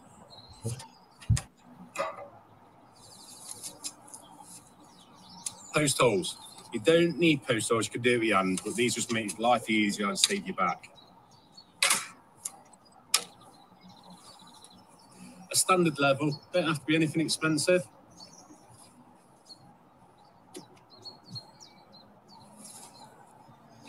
A bar, just in case you come across anything tough. You can invest in a breaker. If you're thinking about setting up yourself and you're a trader and you're thinking about doing it yourself with the pandemic and everything else, losing the jobs and that, you can just start off with one of these. But if you do hit some hard concrete, I suggest you buy one of them cheap electric breakers. You can always arrange a bit of power with the customer. Steel saw. Don't have to be a steel saw. Don't have to be a petrol saw. Now, this is where our uh, tools list differs a little bit. Uh, we don't typically send uh, send crews out with a concrete saw, but you'll see why this is one of their standard tools here in just a second. Steel saw. It can be an electric angle grinder with a diamond blade on it. That's purely to cut a post down or gravel board because not every fence will finish on exactly one bay.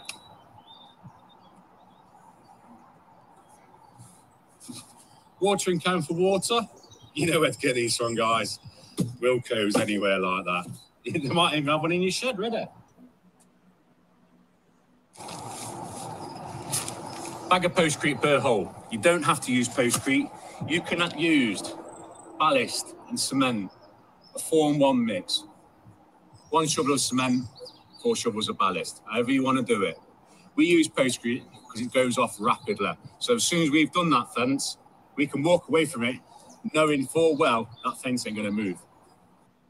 You know, one other benefit of using a bagged concrete uh, product is that you know that the concrete mix is consistent post to post. Uh, I think we've all, if you've built fence, we've all been on a crew that uh, had a guy mixing concrete that sometimes be called inconsistent. Uh, you know, four shovels to one is a great ratio, but are they heaping shovels or are they light shovels? It can get inconsistent. Uh, I like that they use bag concrete mix because you know exactly what the concrete contents are going to be uh, from you know post hole one to post hole twelve, post hole twenty. One post, one gravel board, one panel. That's everything you need to put in one bay of fencing. How we're going to talk you through it, from digging the hole to leveling, how we do it, and we'll give you some little tips along the way. First job is we want to find out exactly where that hole's going. So we use an old six foot level. It's battered. Now, I'll pause this just to make note that David used an imperial measurement rather than a metric measurement. Uh, we we have some videos uh, that we do review on, specifically the uh, New Zealand reaction video. Um, that uh, a lot of the comments had to do with imperial versus metric measurements. Uh, in talking with David and Stevie in the live interview, uh, one thing we discussed is that they're taught both in school, taught metric and feet. Six foot makes more sense rather than 1.9 meter. so they use feet or imperial measurements in that case, but they'll use metric for you know different measurements. So anyway, just interesting to see a uh, fencing professional outside the United States also using the imperial measurement. It won't level anything, but it's perfect for what we need. It's six foot long, so it's the same length as a gravel board. You can use a bit of wood cut off six foot. Does the same job. So put it into the slot. That's another interesting note that their posts are spaced six feet apart, uh, more or less on center. I mean, I know the channel I'm sure there's still posts in between those two channels, and there has to be obviously. So it's probably six foot three inch, six foot four inch on center. Uh, but that's interesting to note, you know, when we're talking about a six foot tall wood fence here uh, in the states, probably across most of North America, I think you'd see uh, post spacings that are eight foot or less, depending on if you're using proportional, proportional or remainder uh, techniques, but typically eight foot or less on center anyway, interesting to see that they do uh, six foot on center. Ultimately, it'll likely make for a stronger fence.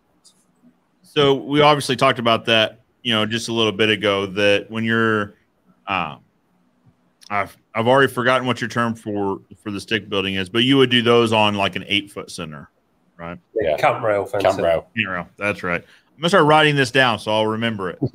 um, yeah. So and, and, the bit about six two or six three really. So when we're talking about post spacing, we always refer to on center, right? Everyone wants to be very particular about where the post is centered on the measurement. Uh, so the point being, just if that was six foot from the inside to inside, center to center is probably going to be a couple inches more, maybe. Hmm. That's it. Yeah, we have like a two inch recess. Yeah, recess so an inch offside. That's what. Yeah, that's what I was. That's what I was wondering. Hey, mark exactly where you want to dig that hole. Pull that out of the way. Grab your post holes. Bear in mind, everything that I've mentioned here, we sell in our shop. So if you are thinking about taking this up yourself, come down and see us and we'll fully kit you out. And we'll start digging the hole. I'll dig this hole and then we'll show you what the next process is.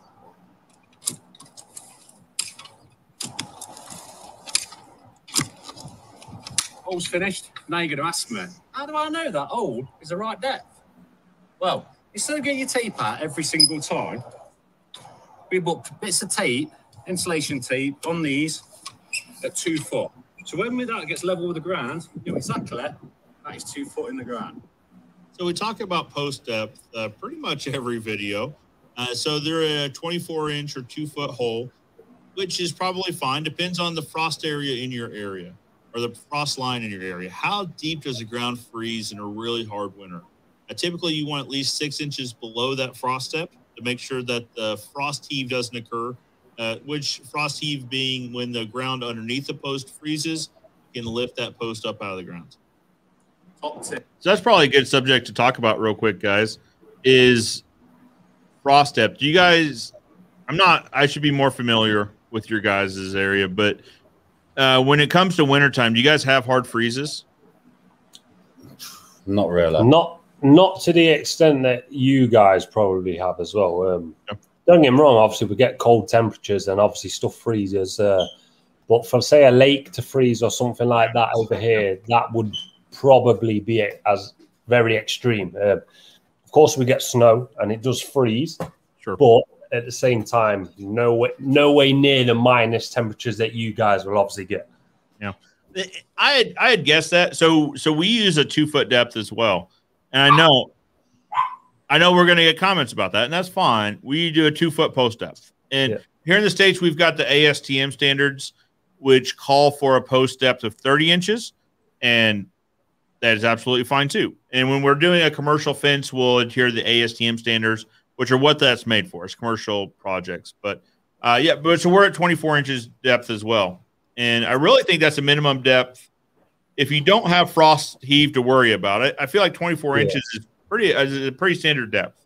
Yeah, that's, that's plenty deep enough. That is at 24. Yeah. Especially with six foot centers, you know, mm, because yeah. you've got you've got more stability there anyway.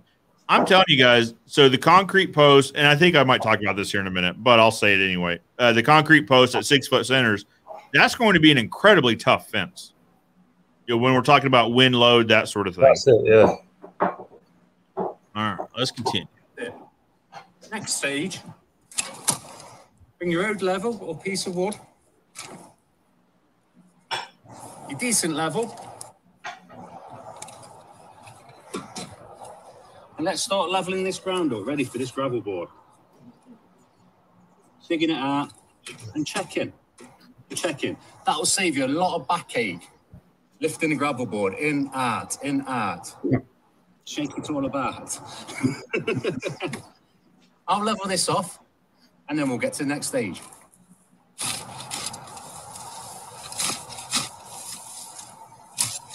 Now you may ask how you get to know exactly what depth you need to go. Basically, you get your tape. I didn't mention tape earlier. Easy forgot about any tape. Overall height of this fencing is going to be six foot. This is going to have two gravel boards high, but it's the same principle. So your panel's four foot. You strike a mark there. The gravel board is one foot. Same again. Strike a mark. And then that should leave the final foot there, which it does if you've done this correctly and you've leveled it off. Let's talk about these posts for a second because we just got a really good look at one. Uh, so over in the UK, they build fence a little bit differently in that uh, predominantly they build fence with concrete posts. Now, when I first heard about the concept, I had a hard time wrapping my head around what a concrete post would look like. How do you attach a rail to a concrete post was kind of the first thing that my brain stumbled on. Uh, but as you've just seen, these posts are what we would call an H post. So they have a channel on either side. Uh, and talking with David and Stevie, they also make them uh, three way, uh, that sort of thing. So if you've got a sideline fence or a neighbor's fence cutting off at a 90 degree angle, they have that as they can accommodate that as well. Uh, the concrete post, I think, is a phenomenal idea. Uh, for them, it's it's just normal everyday fence, but for me here in North America, that's a bit odd, you know, to see a concrete post. But I love the concept. It's not going to rot, not going to warp or twist. It's essentially the same benefits of, say, a steel post, but uh, even though steel post has the, depending on the manufacturer, I, I you know, I understand. Um, but typically they'll have a lifetime warranty against rust and corrosion. But you have to think you're going to rust and corrode at some point. So the concrete post is going to resist rot and insects won't rust or corrode. It also would have to be incredibly strong when we're talking about wind load rating, especially as they're building it six foot post spacings. I think it's an incredible idea. Uh, it's something that I'd probably like to play with here in the States. Uh, why don't you guys let me know in the comments below? Concrete post, yay or nay? Would you uh, would you be willing to try it? How do you think uh, your local uh, clients or residents would react to seeing concrete post over a wood or a steel post? This gravel board should go straight in. So those of you guys that are watching, why don't you let me know? Like, I'd like to have that discussion. Uh, you guys here in the states on on the concrete post. So, guys, on, on the post, obviously, obviously, so it's been done since the '80s, and your clients are used to seeing concrete posts. My my concern, it's not really a concern, just my thought on it being they're going to look a bit unusual, right? Mm-hmm. in, in a market that's used to seeing timber posts or or we'll use a steel post that's covered with uh, fence picket. Can you can you dye that concrete? I suppose to be like a like a brown color uh, before you put it in the forms. Yeah. 100%, yeah. So that's a thought, right? That the gravel board uh, could be dyed brown, the post could be dyed brown to ha- to give it more of a And consistent they, look. paint it as well. Like they paint real easy as well. Okay, okay, that's an interesting thought too. So, yeah, so when we when we'll pre-stain, so we don't have a supplier of pre-stained timber, pre-stained lumber, so we'll stain our own. So we have a dip tank that we use to, to dip all the pickets and such. You could probably, I mean, it would be it would be a different compound, obviously, but you could probably dip the post and the gravel boards too. Once once they're you know once they're cured out. Yeah. Um, my my mum and dad's volumetric mixer has actually got a setting for dyeing the concrete as well. Oh. So okay, Spec up. we could actually do it like as we have it now, but Yeah. It's it's not as popular over here. Just the plain sort of white concrete is sort of like the normal. Yeah. Well, yeah, and that's the only reason I think about that is just people are so used to seeing timber posts here, where if you could make it look more like timber, it might be, you know, more accepted. Um, Standing out from the crowd is always a good thing sometimes, though, as well. well, that's the truth. That is the truth of it too. We're not always got to follow everyone. We can we can do our own thing. Very true. Let's get these gravel boards in and see if it works out right. Here we have it. Gravel boards in, straight in. See the mark. What we put in. Look at that, perfect. You don't need to lift that in and out. Right, me and Steve's going to put the next one on top, and then we'll show you how to put the panel on and where it needs to finish on the post. Second gravel board on, but don't forget, guys, you don't have to use two gravel boards. Same principle with one or two, three. Exactly the same. Check the level, absolutely perfect. Nice panel time. Let's talk about these gravel boards for a second as well. Uh, in the southern United States, you see you see fences installed with a kickboard at the bottom, which is usually a treated pine two. So this is this is pretty common uh, in the southern United States, um, where so and I'll, I I think I'm getting ready to talk about this in the video, but uh, where so this board is meant to be like a sacrificial layer uh, between the rot at ground level and the the nicer pickets, the cedar materials up top. Um, but the problem with this is that board has to be replaced. You know, it's it's a sacrificial layer, so it's meant to be sacrificed, uh, which means someone has to go through and peel out all of those kickboards or the rot boards every, you know, five to seven years or something like that. Whereas the the cement, do you guys see the gravel boards? Do you guys see much replacement needed with those? No, No. never ever.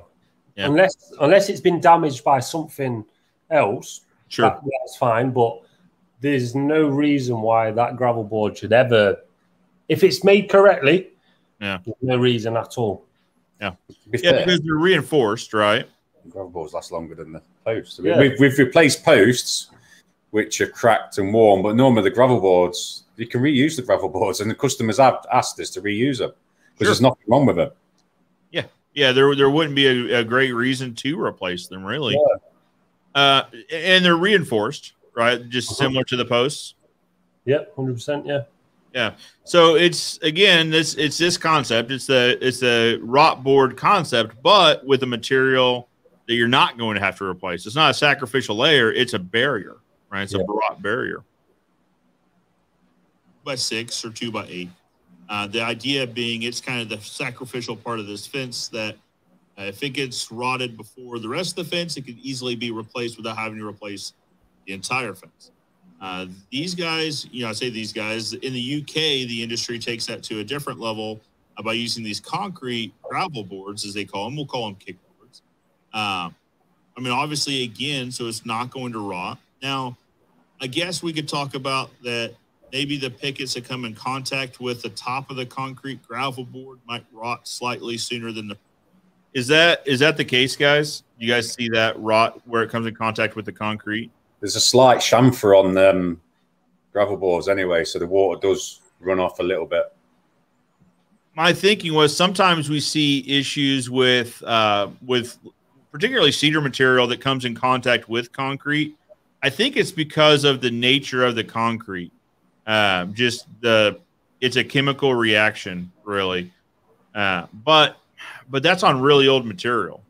Yeah. You know, this this isn't year five or six. This is year twenty five or thirty. Yeah.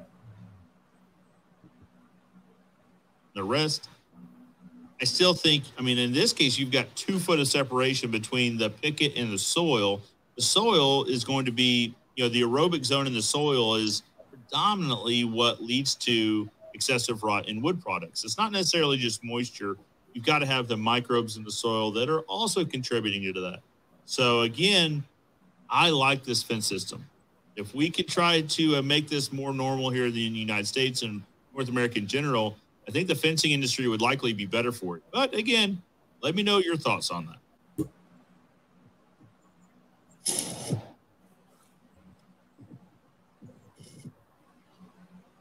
Absolutely perfect, guys.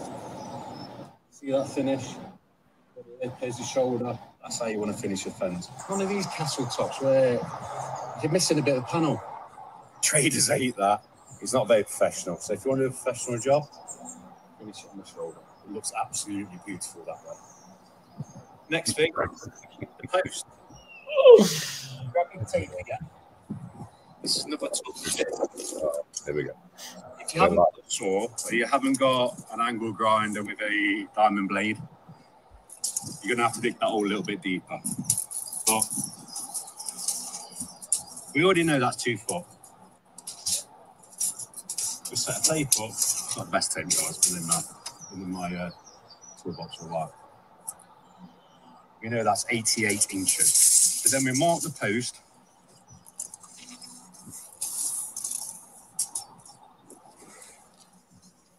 Pick the best side of the post.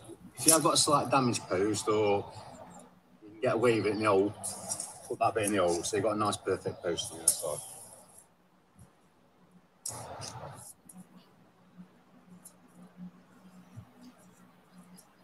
Eighty-eight inches, and then we'll cut that off. So that's the that's the case where you'd want to have that steel concrete. Right, I need Stevie for the assistance of that. What we're doing now, the post has been cut. We lift it in, as demonstrated by Stevie.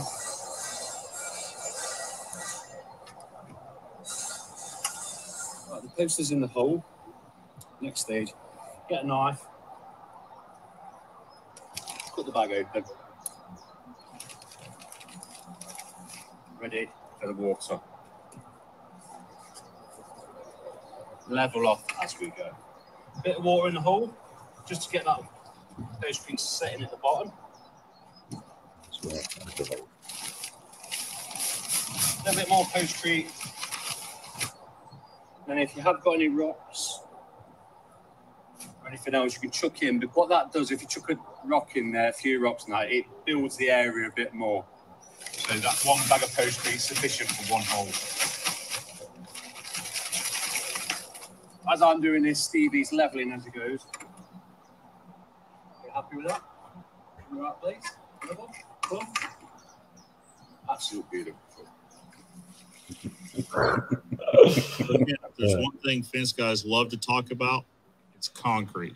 How do you mix it? You use wet concrete versus dry concrete. You use compaction if you're using dry concrete. We love to argue about how to use concrete correctly. Uh, so what Dave and Stevie are doing here is precisely how we mix our concrete. We put water in the bottom of the hole, add in the concrete, any aggregate rocks that are in the area, and then put more water on top. Uh, and then I'm sure they're going to go through and probably agitate the concrete itself. Uh, we use a rock bar is what we have on hand uh, to make sure that water mixes throughout. Uh, any concrete that doesn't receive moisture will pull moisture out of the uh, surrounding ground or also pull up or down out of the water that's put below and above it. But again, as with a lot of things, if you have a process that works better for you than you think this process would, that's probably the best process for you.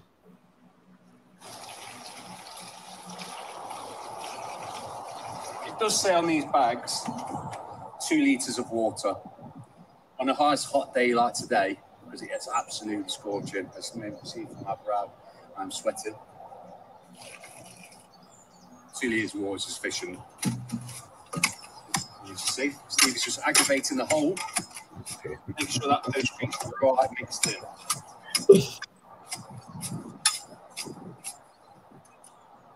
There you go, guys. One posting, ready and setting. Hope you enjoyed the video. If you do like what you see, hit that like button. And if you have got any questions, leave a comment below and we'll answer them. See you soon, guys.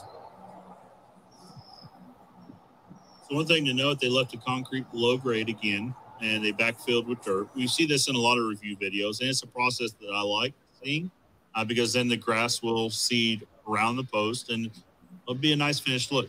Guys, I think they did a great job. Let me know what you think. Uh, Oh, of course, man. if you're looking for another fencing channel to follow, I recommend D&J Projects. Uh, these guys are up to some great stuff. Uh, it's a little bit different, being that it's UK versus uh, North America. It's always interesting to see how you know things are done differently in different areas. These guys are up to great stuff. They've got a great channel. Can't recommend following them enough. If you'd like to watch, watch the original video, we'll have it linked in the description below. But for now, I'm Joe Everest, the fence expert, reminding you that good fences make good neighbor. And that's it. That's the Oh, wicked. Brilliant. No, that's a good video, Joe. Well, so we had to edit it for time. Um, I had a little bit in there about the grab about the grab van because I said this before and we talked about this for a while. I think this is an incredible, you know, incredible concept Yeah. that you cannot find here in the states. You can't, and not even in Mexico, not even in Canada. Because I thought, well, maybe Canada because you know maybe, uh, and we'll just import it into the states. No, no, no. You cannot buy those here. Uh, Crazy.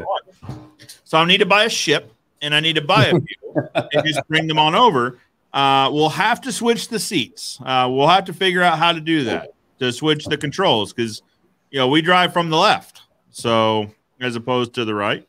But uh, that's all stuff we can figure out. We can we can figure that stuff out. But no, those those grab vans, it they make so much sense. They really do. You know, you can tip with them. You can grab. I mean, you can grab all of your aggregate. Or so the way my mind is thinking about this is, and you guys have done it for like fence removal. Mm. Right? You you simply grab it, throw it in the back, and then go and and tip it at the dump. Uh, That's it's a great process, and I don't understand. I don't understand why we're so behind on this one, to be honest with you. But we'll we'll figure that out. So let's get let's get back to the comments. T Norton says, "What make of vans do you use?" Is that us or? Yeah. Well, us ourselves, we use Fords for, say, the Transits, and then the Grab is a Mercedes. Hmm. So, So those Ford Transits are nice. We've got a uh, we've got Transit 250 we use. Those things are just you can put a million miles on them and they'll be fine. yeah. Uh, so Backroom Properties would like to know any tips on stopping or minimizing warping when storing pressure treated timber. I'm having to order timber months in advance, but struggling with slats warping over time. Any tips, lads? If you're storing them outside, then they're going to warp and twist. Uh, we store a lot of our timber inside. The timber we store inside, we, we tend to find it don't warp and twist because it don't dry out as fast. I think the sunshine and the elements outside dry it out. So I think that's where we're struggling. Yeah. Well, yeah. So sunshine, but also it's that Yeah. that cycle of getting wet and dry and wet and dry Yeah. over time. He could try tarping it up, some, putting some tarp sheets over it, keeping the moisture in it a bit longer. Yep. That might help. Yeah. If Well, has space. And keep the sun off of it. Yeah. Yeah, it, it does two things. Yeah. Yeah.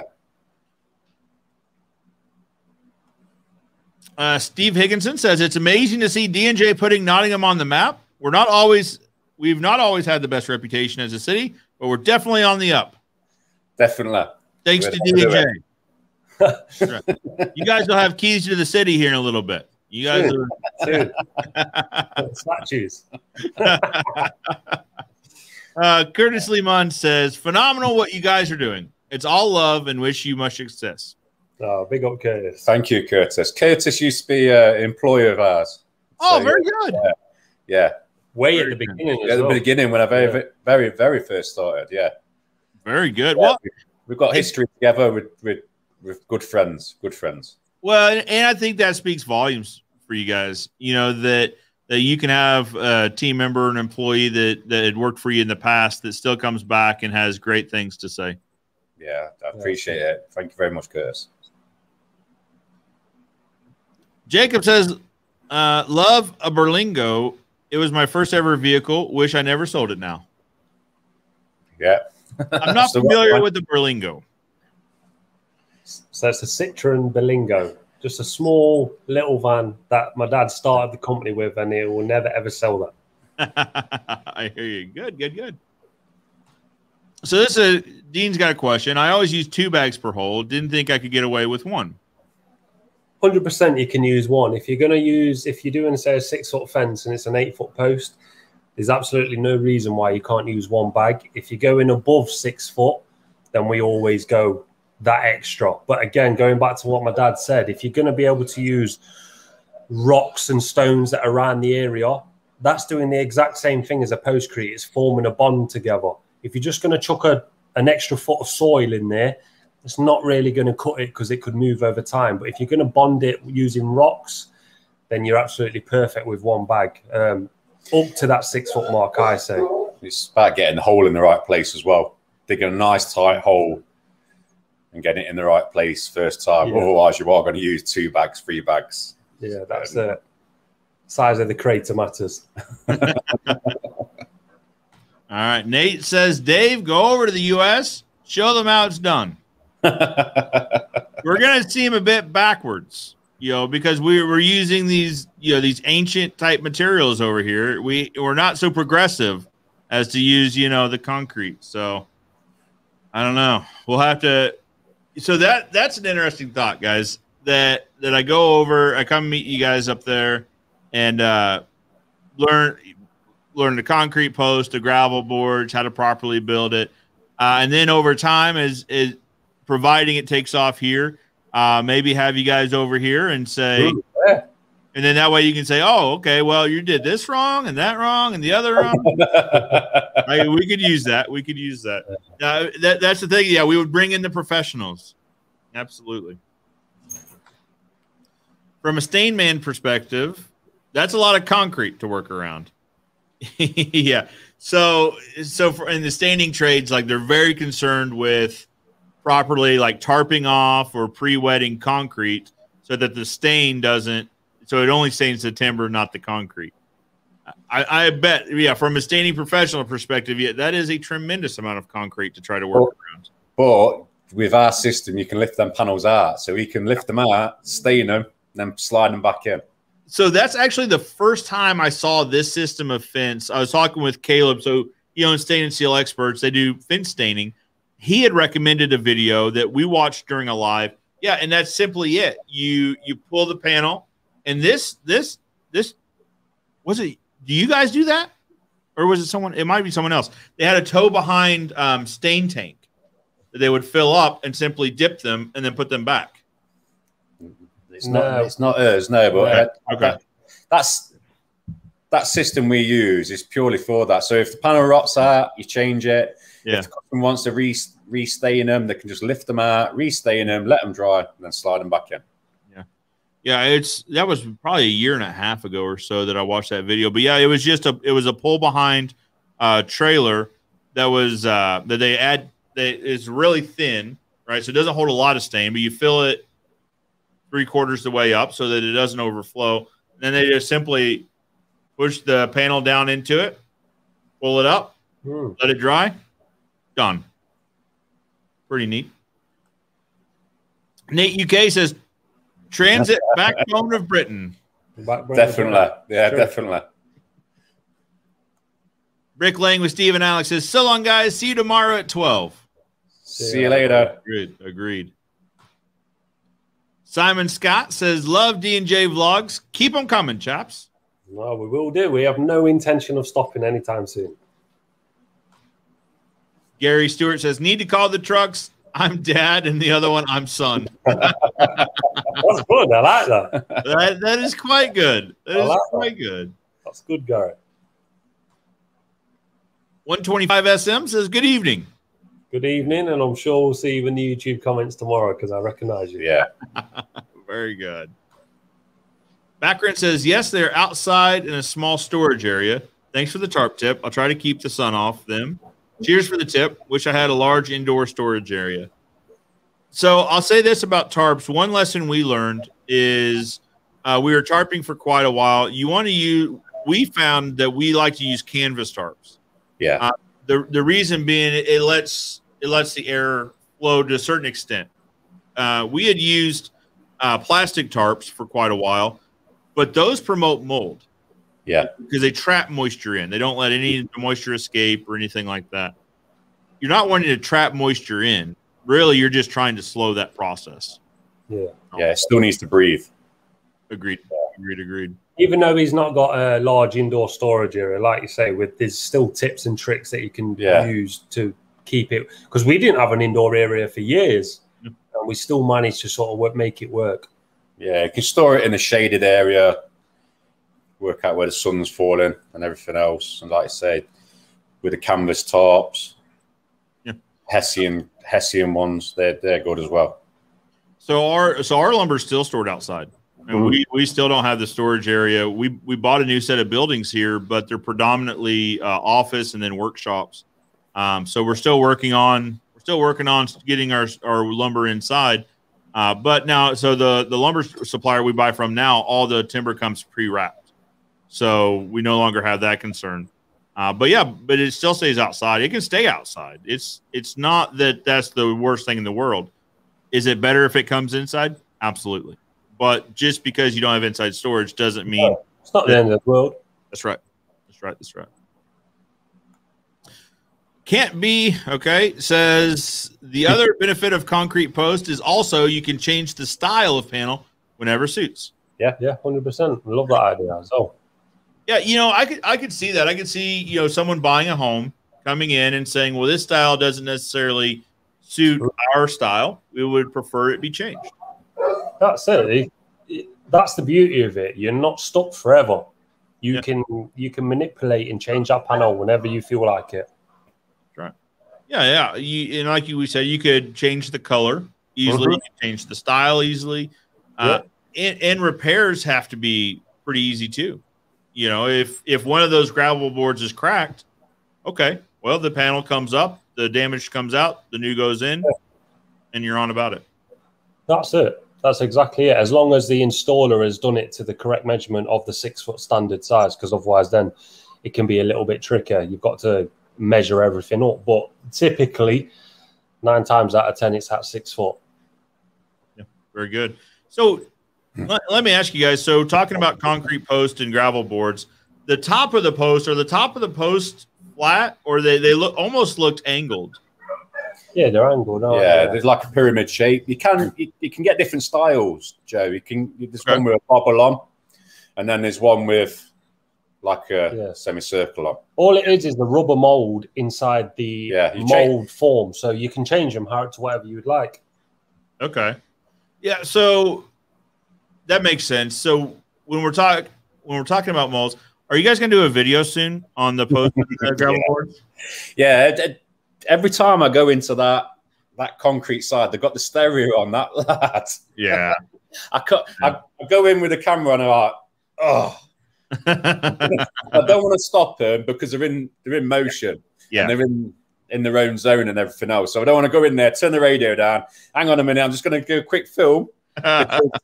It slows them down, and them guys work so hard in there, oh yeah. so hard. So Well, as soon as the, as soon as that mix mixes with the water, your Yeah. your countdown starts. Yeah. Like you've got to keep moving. Every minute counts in that room, and they do an absolutely outstanding job. They honestly, they deserve all the props that they could ever get. Honestly, they do a good job in there. Yeah. because it's hard work as well. It's, it is hard work. Oh, it's yeah. heavy. very heavy work. Hard and dirty. You know, I mean, that's dealing with concrete dust is is no joke. I mean, it gets everywhere. Yeah. When so um, when you're making the posts and the gravel boards, how long do you typically let those cure before you you bring them out? we pop them next day. Okay. Okay. So Next day. next day, as soon as as soon as they come in in the morning, they're popping. Yeah.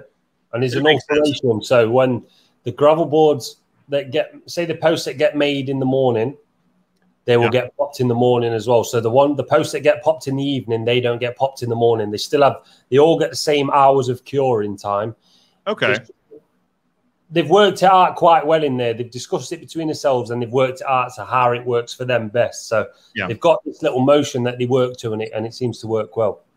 Absolutely. And then once they're popped, they they cure outside. So they carry on curing outside. So they write a date on them. When they popped them, the date goes on them, and then Okay.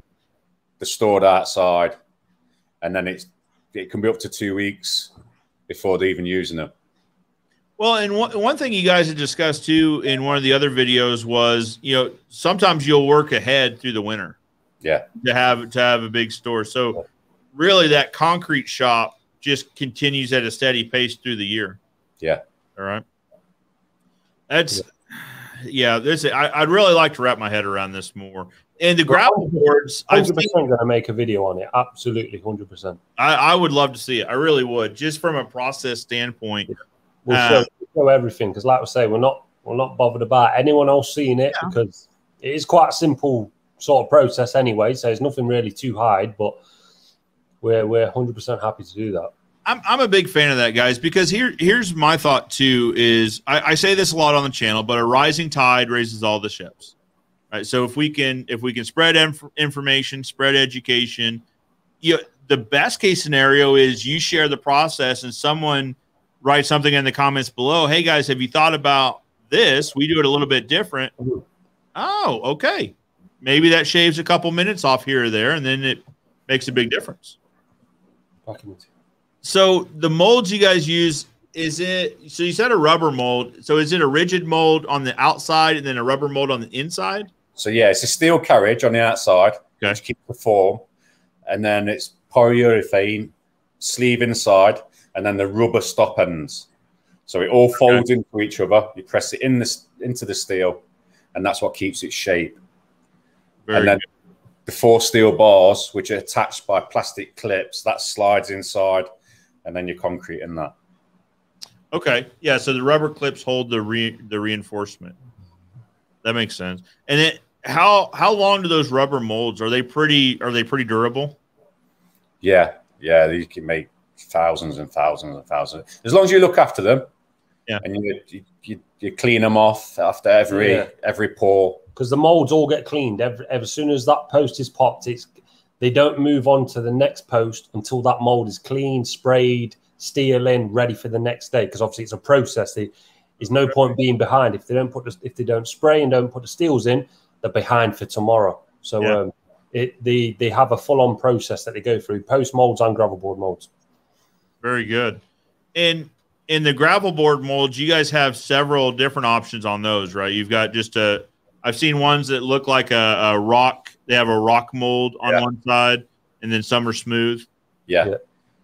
Very and then good. there's a few different options as well, but we they're the, the two most popular by 100%. And then we do one where there's a say a six inch circumference of a circle cut out in the middle of it to help hedgehogs climb through garden to garden to help help keep preserving the hedgehogs.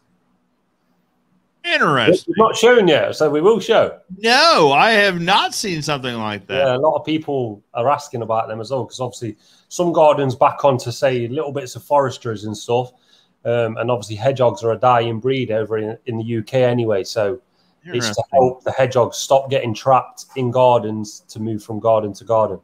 Okay. And are hedgehogs beneficial? Beneficial. Is it beneficial? I think so. The- The cute. Yeah. Yeah. Yeah. Uh, It's a bit, it's a bit like a porcupine. yeah, to be fair, like, Mm, yeah. I don't know. Uh, We say hedgehog holes, but it, it could be anything. It could be. It could Yeah. be bunnies. It could be. Of yeah. course, it could be absolutely anything, but it's not just to trap something in the garden. Yeah. Um, because obviously, some people have massive gardens at the same Sure. time with a lot, a lot of shrubberies, and we don't want to trap wildlife in. So, if we can help, Yeah. that's what we do tend to do with those gravel boards. Yeah, and six inch being small enough that you know the the the dog can't get out. The yeah, you're not having dogs or, or, cats really go through. It's not too sure. crazy big. Um, well, cats depends on the customer as well. Yeah, and cats can go over. Yeah, they just climb. So we we get this request once in a while. They'll say, "Well, I've got some cats and I'd like to keep them in. How tall of a fence should I get?" you you could build you could build the wall of China and the cats would go over. You got to put a top on it, and that's a whole that's a whole different mess. Um, and I'm sure this is going to vary with everyone, but so say so say your guys are really getting on good and and the system's figured out how many post and gravel boards do, do they make in a day? Does it vary? Probably. They make roughly 120 to 130 posts a day. Okay. And then there's, I think, 120 again about it. I think it's 140. 140. I think it's 140 gravel boards a day. And wow. then there's little extras and stuff like slabs, slabs and, stones. and coping stones where they do little runoffs every now and again. Yeah. And then there's the uh, big big block mold. Yeah, the big block. Yeah, the big blocks. you guys have been cranking those out. Yeah, it looks really good now. We've we've we've done even more, so it looks good. Yeah, that um, what do you say? Uh, sharp sand area. Yeah, really coming together. Yeah, it is indeed. Yeah, looks nice. All right, let's see. Let's catch up. Let's catch up. So, Fat Finger says Great chat, chaps. Love D&J videos. Come on, England. yeah. we're bringing it home, mate. It's coming home. I need not worry. It's coming home. Oh, so this is a question I agree with. Any resin jobs coming? Resin pathway? Well, yeah. yeah so, so David did a video of of re- doing the resin for his parents' drive. That was incredibly interesting to watch. Any any of those coming up is the question. We've got a path coming up, but the the thing with the resin, I only like to do it when the weather's right. And in the UK, the weather is so unpredictable. so my my parents, my mum and dad, have been waiting for that job for God six months or so. Oh wow! Just for the right day and yeah. everything else. And then obviously with the pandemic hitting and everything else, resin was quite hard to get hold of as well. So yeah, that, that, that job's been booked in with my mum and dad for ages. well, probably needs to be the right set of days, doesn't it? Yeah. It needs to cure yeah. properly and the rest. Yeah. All right. Backroom says canvas tarps on order. Cheers, guys. Very good. Hedgehogs keep the slugs down in your garden. Yeah, that's it. Good to know. Yeah. Good to know. Stops them from eating the plants and all your vegetation. Makes sense. Good live, Joe. I'm heading over to the D&J channel to check out their process. Thank you. you. Kenny, Kenny, Kenny and I know each other. Kenny, I think you would really get a kick out of this, knowing that you and I like a lot of the same things. Uh, I think you'll get a kick out of it for sure. Gary says, "Congrats on passing your HGV, Stevie. Uh, does that now? does that now you can ask for a pay raise?" Yeah, skip this uh, one quick. Uh, yeah, yeah, yeah. We'll block that comment straight out. It's gone. Uh, no, yeah. So, yeah, the question is so you Americans don't have concrete posts like the UK? No. Well, okay, I say no. Not in residential. So, along highways and interstates, we do when the but these fences are 30, 40, 50 feet tall and they're made in precast concrete plants. Just the same precast plants that make you know huge buildings, so they just stand up. Um, so they do have them there, but in the residential market, in the commercial, which we we don't deal in anything that that big, right? The industrial scale. We stick in residential and commercial. We don't, uh, as of right now. We'll say that. Coming soon. That's right. That's right. DG Services, artificial grass specialists in uh, we love D&J projects here in Ireland. I've been watching them from the get-go. We are a lot smaller company as D&J, but similar we uh, but similar as we are father and son business. Oh, brilliant! No, that's like, like we said. We're we're actually big fans of the Irish. With um, my mum being part Irish as well, so we've got a, a, soft spot for the Irish. And to see that, it doesn't matter how big or small you are. We we just keep doing what you're doing. We love that, and with a father son business, that's that's wicked. Yeah, generational businesses are really neat, right? It, because I think be, they're especially neat to me and to you guys because you know that it takes it's a different dynamic working Mm. with family. It, it really is. Um, so yeah, it's it's neat to see here in the states. You really don't see generational businesses at all anymore. Um, so we're we're third generation. It was my grandfather and his brother-in-law that started the business. Uh, my grandfather bought it, and my dad bought it from my grandfather, and I bought it from my dad. Now I've got a son that's three, and my wife doesn't like this joke, but I call him my retirement plan. one, one day I'm going to grow up, and this all will be sold to him. Uh, she doesn't like that at all, uh, but it it's kind of true.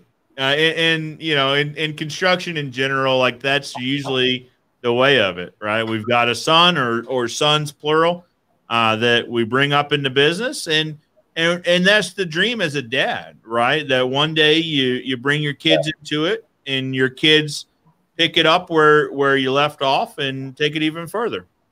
Yeah, that's a dream. That's right.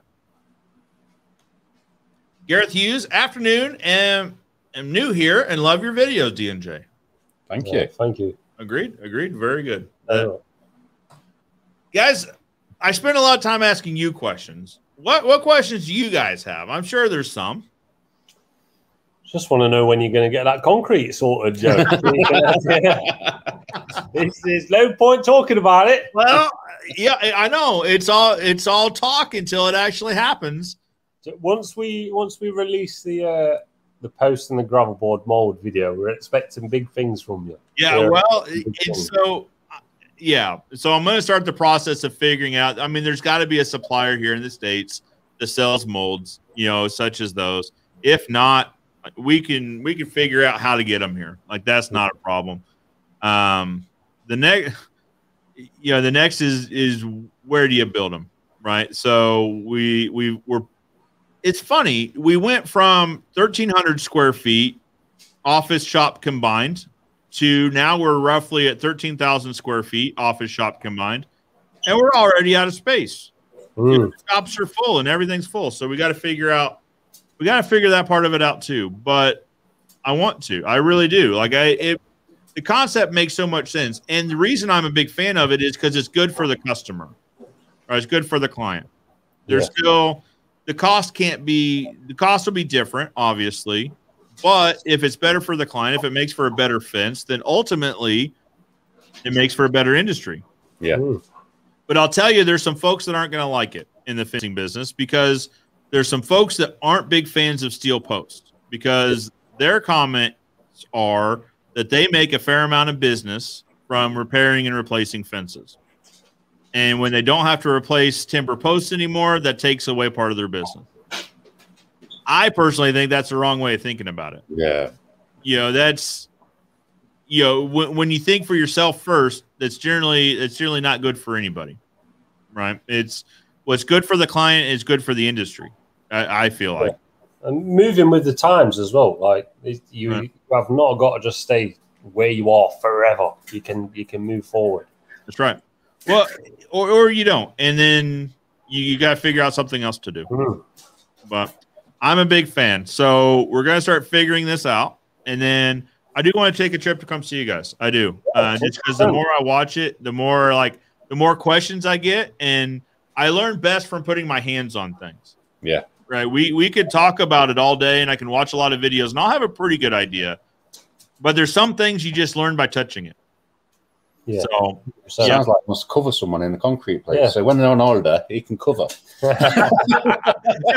come on over we got a job for you you'll learn a lot i promise let, let me ask so you guys have you guys have busier times and slower times i would assume Yeah, this this season. So summertime is is a busy time for us because everyone's getting out there barbecuing. So they all want to vamp the gardens up. yeah so are you guys in, in the middle of your busy season now yeah, Yeah. it's, it's, Yeah. it is Yes. very busy. yeah Very yeah busy.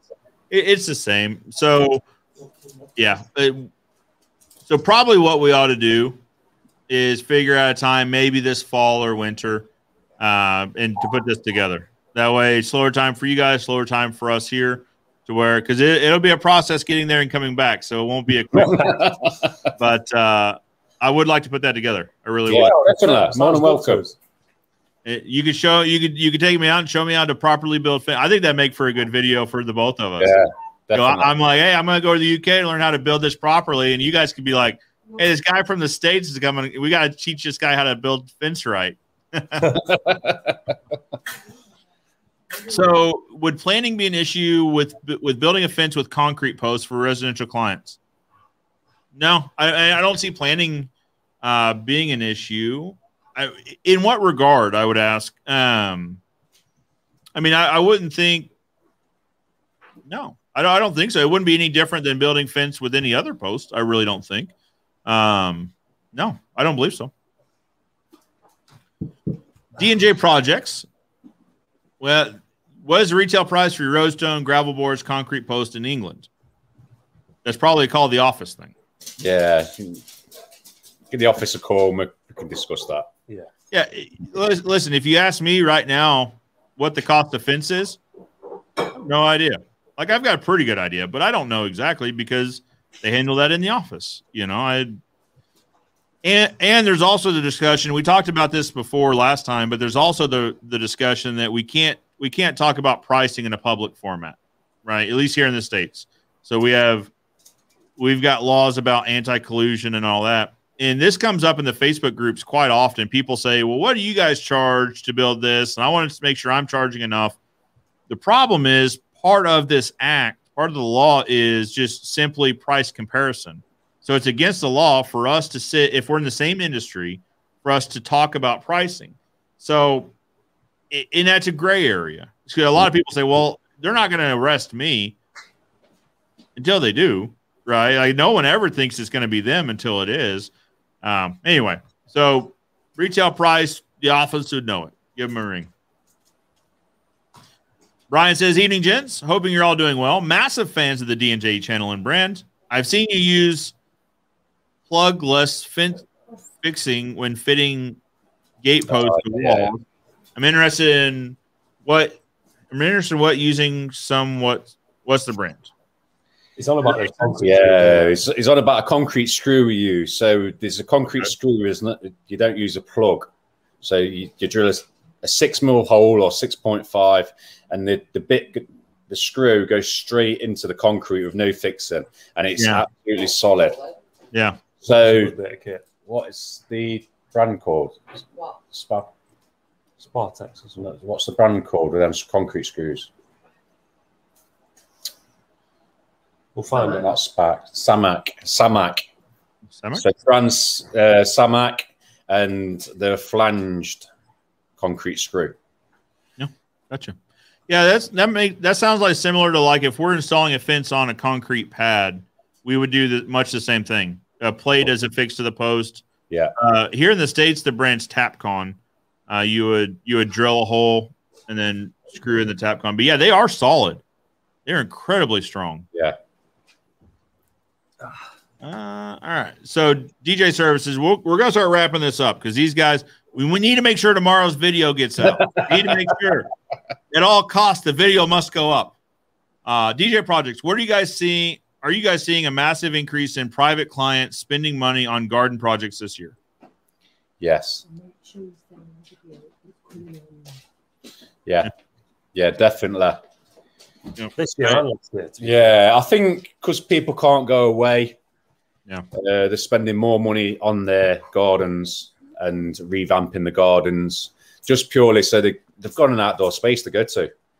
Yeah. And obviously, of a summertime, they can spend it in the gardens with the kids and do stuff with the kids and families. Absolutely. Uh, we're we saw this. We're seeing the same thing, and it, it's funny again the similarities and differences. But you're right in that people are spending more time at home, whether it's for work or for pleasure. You know, a lot of folks here are still working from home. So when you spend more time in your backyard, you notice that fence is supposed to have been replaced. Yeah. Yeah. Oh, yeah. We meant to do that last year. That's right. Um, and so, so for us, more and more venues are opening up to the public now. but one thing that was happening was uh, so if you had a group of friends and you used to go down to the bar, you used to go to dinner, well, those places were closed. So you would help you would host folks over to the house for barbecues and such. But you still want to get together. You still want to see your friends. Um, so yeah, that's that's one thing we saw was more people spending more time in the yard, Yeah. building fences because of it. All right, a couple things. Brian says thank you. for. No worries. You guys looking forward to the football tonight? Yes, Wait, we are. no. It's coming home. Yeah, yeah, well, we've been over that. We're uh, England's gonna bring it home, is what I hear. I don't. Yeah. Uh, Ryan says, "Yeah, we need Sunday's video." D and J, love watching you. My son at 4 a.m. on a Sunday. All right. There you go. Yeah, So, so you must be over here probably. Well, no. So that's that West Coast United States maybe. Because I think right now from from Central United States we're six hours, um, six hours behind. So that sounds like they're eight hours behind. So yeah, probably West Coast United States. There you go. Garrett says, "How far would D and J? How far would you go for work? Because I live in Liverpool and need my back garden." we get, we get this quite a lot right at the minute, but uh, in all honesty, we're pretty much just Nottingham based. Is is that much work in Nottingham that it, it just wouldn't? It's not the right fit for us right now. Yeah. To be fair, we, we're booked up till next year as well. So Well, and that's yeah, that's the thing is you have to kind of realize that could you? Sure. But Yeah. by the time you factor in travel time, you know, lost lost work time, that sort of thing, it would probably get fairly expensive as well. We'd love to help, of course. Yeah. We'd love to help everyone. Absolutely. DG says thank you guys. no worries. Uh, thank you, buddy, for being being there. I'm not gonna say the name. Can't be says thanks, lads. Excellent stream. Les Wood says I watch D and J every Sunday and Wednesday here in Denmark. Great to see honest contractors. No, thank, Thank you. you. Appreciate Agreed. that. Thank you very much for watching. guys i i appreciate you giving your time so openly i really really do appreciate that No, we love, we love, love it, it. honestly. We absolutely well love I, I know you guys probably probably hit it extra hard today to make sure that things got done so you can be home so i really i really do appreciate that i do it. No thank you. Guys if you're watching and you'd like to find, learn more about dnj projects their channel is linked in the description below. I go ahead and give it a click. Go over and follow these guys. They've got great content. I enjoy watching it. I think you will too. But yep for now i'm joe everest the fence expert with d&j projects dad and son. We're wishing you guys another happy day. I'm reminding you that good fences make good neighbors and i'll see you next week